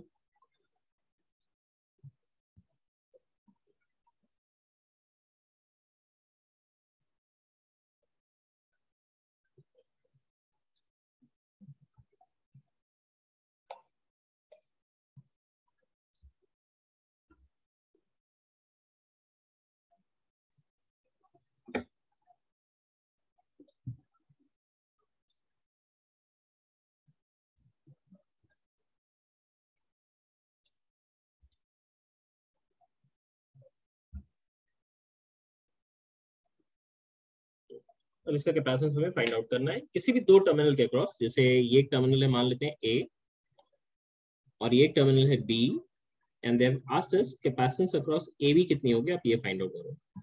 गिवन है सारा कैपेसिटेंस आपका ए सी का है। All capacitance of C all capacitance C का है। You are suppose to find out capacitance across A and B this is an infinite grade of network आप ये मान के चलना।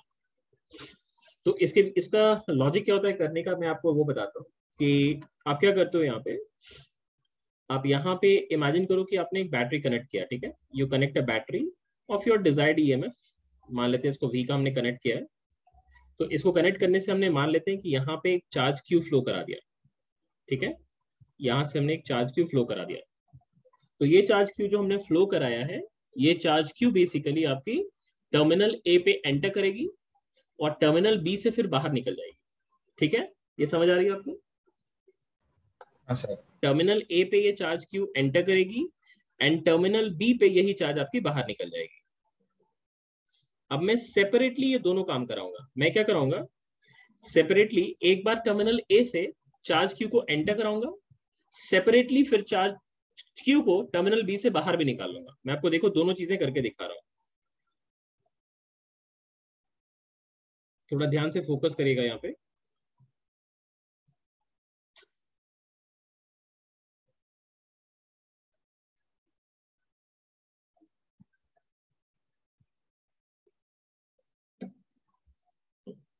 तो मैं क्या कर रहा हूँ यहाँ पे? पहले इनको मिटा देते हैं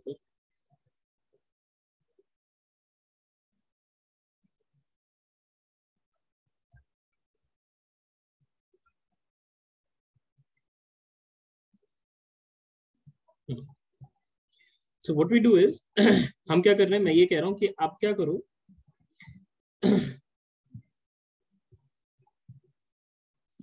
इस टर्मिनल ए से आप चार्ज क्यू को एंटर कराओ, ठीक है? चार्ज क्यू को एंटर कराओ। अभी आप ये मत सोचो कि आगे से कुछ और भी होने वाला है। आप बस इतना सोचो कि टर्मिनल ए से चार्ज क्यू एंटर कर रहा है।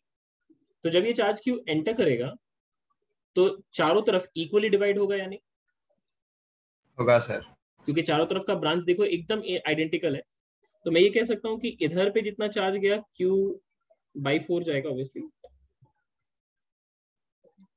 इधर जाएगा आपका क्यू बाई फोर इधर भी जाएगा आपका क्यू बाई फोर इधर भी जाएगा आपका क्यू बाई फोर और इधर भी जाएगा Q by four I hope आपको बात समझ आ रही है।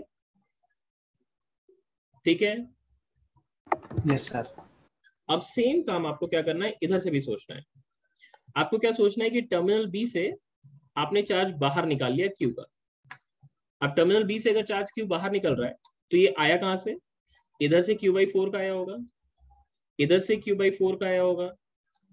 इधर से भी आपका क्यू बाई फोर का आया होगा और इधर से भी क्यू बाई फोर का आया होगा। आया होगा? हाँ सर। अब इन दोनों को साइमल्टेनियसली आपको सोचना है। इंडिपेंडेंटली तो आपने सोच लिया।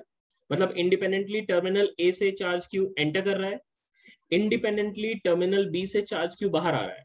बट अब ये काम दोनों एक साथ होना है। तो देखो ए से बी का जो ब्रांच था ए से बी का जो ब्रांच है उस ब्रांच में charge Q by four flow कर रहा है इंडिपेंडेंटली एक की वजह से है या नहीं है? अगर मैं बोलूँ सिर्फ़ और सिर्फ़ बी बी टर्मिनल पे अगर मैंने चार्ज क्यू को बाहर निकाला तब ए से बी में कितना चार्ज फ्लो किया? क्यू बाई फोर हाँ सर फिर मैंने सिर्फ़ और सिर्फ़ टर्मिनल ए पे चार्ज क्यू को एंटर कराया। तो फिर ए से बी में कितना चार्ज फ्लो किया? क्यू बाई फोर सर अब अगर मैं ये दोनों को एक साथ कराता हूँ if I am making these two both of these two happen simultaneously इन दोनों को एक साथ अगर मैं कराऊं मतलब ये भी हो रहा है मतलब टर्मिनल ए से भी चार्ज क्यू एंटर कर रहा है और टर्मिनल बी से भी चार्ज क्यू बाहर निकल रहा है। अगर ये दोनों एक साथ हो रहे हैं तब ए से बी में कितना चार्ज फ्लो किया? कितना चार्ज फ्लो किया? क्यू बाई टू फ्लो किया नहीं किया? हाँ सर समझ आ रही है? अप्लाइंग सुपरपोजिशन इंडिपेंडेंटली ऐसे लिख लेते हैं। Independently independently when q charge enters enters terminal a then q by 4 flows from a to b branch. Similarly, when Q charge exits out of terminal B, terminal B, then also Q by 4 flows from A to B branch. Therefore, if we superpose both the situations, both the situations happening simultaneously, happening simultaneously as we connect a battery it will pull out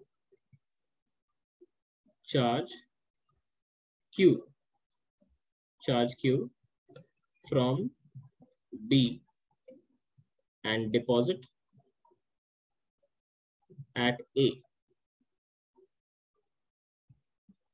Therefore, charge flown in branch AB, branch AB is q by 4 plus q by 4 and that becomes q by 2. Did you understand? Did you understand? Yes sir तो ये terminal ए था और यहाँ पे आपका एक capacitance C का था और ये टर्मिनल बी था एंड इसमें charge Q by four plus Q by four मतलब क्यू बाई टू और यहाँ पे क्यू बाई टू ऐसे आ गई होगी? आई होगी? क्योंकि आपको यहाँ पे क्यू बाई टू दिखाना था ना फ्लो करता हुआ। याद है आपको? समझ आइए आपको? समझ आइए यस सर तो potential difference across A B लिखोगे तो क्या लिखोगे आप? क्यू बाई टू सी लिखोगे या नहीं? लिखोगे? लिखेंगे सर हाँ। अब अगर जैसे ही आपको potential difference between A B Q by two C दिख गई है आप ध्यान से देखो आपने ए बी के क्रॉस का पोटेंशियल डिफरेंस कितना लिया था? वी लिया था। लिया था ना आपने बैटरी वी का कनेक्ट किया था तभी तो चार्ज क्यू फ्लो किया था। राइट हाँ सर तो अभी मैं क्या करूँ इसको? उस वी ए बी को वी से रिप्लेस कर देते हैं। So this will be equal to V this is EMF of connected battery connected battery अब देखो आपको मिल जाएगा। सो देयरफॉर अगर सी इक्विवेलेंट निकालनी है तो सी इक्विवेलेंट निकालने के लिए क्या करते हैं? क्यू बाई वी करते हैं या नहीं करते? और क्यू बाई वी करोगे अगर ध्यान से देखोगे आप तो टू सी आ जाएगा। देखो टू सी आ गया। देखिए आपको। हाँ देखिए। तो इस तरह के क्वेश्चन को सॉल्व करने का यही एक लौता तरीका है इसको याद रखिएगा। इनफाइनाइट ग्रिड में आपको इंडिपेंडेंटली पहले तो आपको ये इमेजिन करना है कि आपने एक बैटरी कनेक्ट किया ए से बी के बीच में तो एक चार्ज क्यू फ्लो कर गया। अब इंडिपेंडेंटली टर्मिनल ए पे आप चार्ज क्यू को एंटर कराओ और सिमेट्रिकल सिमेट्रिकल डिस्ट्रीब्यूशन इसका मतलब इक्वली डिवाइड करेंगे चार, चारों ब्रांच में। अगर ये आ, मतलब मान लो कि ये जैसे इसमें मैंने आपको स्क्वायर का ग्रिड दिया है ये हेक्सागन का भी ग्रिड हो सकता है पेंटागन का भी ग्रिड हो सकता है जैसा भी चाहे आप ग्रिड बना सकते हैं। तो उसके अकॉर्डिंग कंसेप्ट ये यूज़ करना है। इंडिपेंडेंटली ए पे एंटर कराओ क्यू को। इंडिपेंडेंटली टर्मिनल बी से बाहर निकालो एंड दोनों का सुपर पोजिशन से नेट फ्लो कर लो। डिड यू अंडरस्टैंड हाँ सर यस सर हाँ सर ठीक है। एक इसका एक एप्लीकेशन आप खुद से ट्राई करना। अगर मान लो ये हेक्सागन का ग्रेड होता मतलब ऐसा एक सिचुएशन सोचो।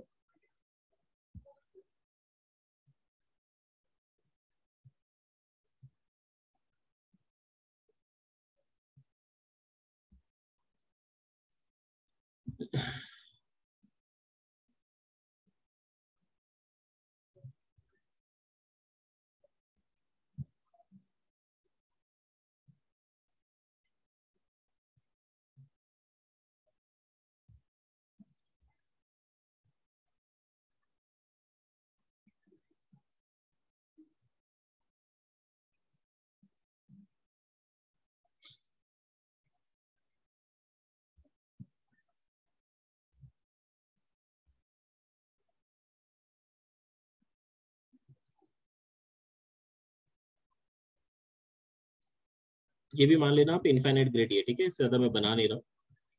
इनफाइनाइट ग्रिड ऑफ़ कैपेसिटीज आप इमेजिन करो, ठीक है? Of C connected between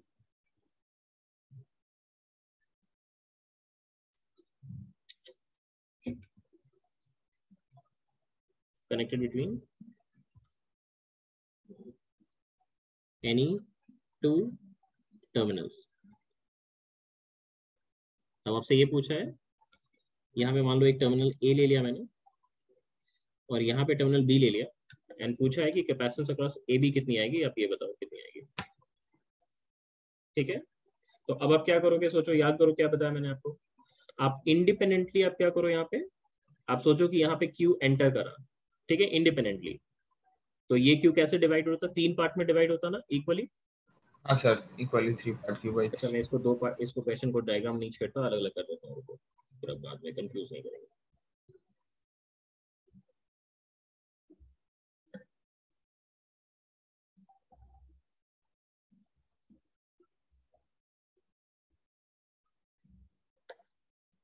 तो मैं क्या कर रहा हूँ यहाँ पे? अ, मैं इधर से क्यू को एंटर करा रहा हूँ ठीक है? क्यू इज़ एंटरिंग अब ये क्यू? यहाँ से तीन पार्ट में आपका डिवाइड हो जाएगा। इधर से इधर से इधर से। This is Q by three Q by three Q by three फिर इधर से अगर क्यू को फर्दर लेके जाओगे तो यहाँ से फर्दर ये दो पार्ट में डिवाइड होगा। होगा या नहीं? हाँ सर होगा। तो ये कितना हो जाएगा? Q by six Q by six होगा? Yes sir. सर। फिर फर्दर इधर कैसे डिवाइड होगा? Q by twelve Q by twelve तो ये आपको डिवीज़न तब तक करना है जब तक आप बी तक नहीं पहुँच जाते। देखो आप बी पे पहुँच गए हो। दिख रहा है आपको? अब अब डिवीज़न बंद कर दो। अब इसके बाद ज़रूरत नहीं है। अब यही काम अब आप दूसरी तरफ़ से करो। अब आप सोचो कि टर्मिनल बी से मैं चार्ज क्यू को बाहर निकाल रहा हूँ। I am taking out Q Q from here तो ऑब्वियसली इधर से Q by three Q by three Q by three आया होगा। तो क्यू बाई थ्री दिखाया क्यू बाई थ्री दिखाया क्यू बाई थ्री दिखा दिया। फिर ये क्यू बाई थ्री इधर से दो पार्ट से आया होगा। Q by two Q by two से आया होगा फिर इधर से आपका Q by twelve sorry Q by एक मिनट क्यू बाई टू क्यों लिखा क्यू बाई सिक्स ना Q by six Q by six Q by six Q by यहाँ पे क्यू बाई ट्वेल्व एंड यहाँ पे भी क्यू बाई ट्वेल्व आएगा बात समझ आई आपको हाँ सर अब अगर ध्यान से देखोगे तो अब अब आप ए और बी से जो आपने जो कनेक्शन किया है उसमें देखो पहले ए से बी ए से इसमें काम करते हैं तो कुछ और नाम देते हैं इन ब्रांचेस को। इसको कह लेते हैं डी है इसको ई e कह लेते हैं। This is D and this is E देखो ए से डी में जो चार्ज फ्लो किया है that is Q by three plus Q by twelve दिख रहा है? दिख रही है आपको? सर तो मैं क्या कर रहा हूँ मैं यहाँ पे potential difference between A B लिख रहा हूँ ठीक है? So that will be potential difference across A plus potential difference across DE plus potential difference across EB. so potential difference across AD is Q by 3 plus Q by 12 and divided by C plus DE across. That is Q by 6 plus Q by 6. Q by 6 plus Q by 6 and divided by C. And plus EB wala to same hi aa. So this is Q by 3 plus Q by 12 and divided by C. अब इनको add कर लो तो आपके पास आ जाएगी value so सी तो common out ही हो जाएगा Q by three one by C को कॉमन आउट अच्छा क्यू बाई सी को कॉमन आउट कर लेते हैं तो ये हो जाएगा ट्वेल्व एलसीएम हो जाना है. तो यहाँ पे बचेगा आपके पास four plus one plus two two four plus four plus one. देखो तो ये आ रही है क्या? चेक करो एक बार। देखो एक यस बार तो ये हो गई है seven Q divided by six C चार चार चार बारह एक तेरह एक चौदह सात दो हाँ ठीक है। देखो आपको मिल गया है। सो देखो इसी की वैल्यू आपको पता है ये वाली वैल्यू क्या है? This will be V E M F of battery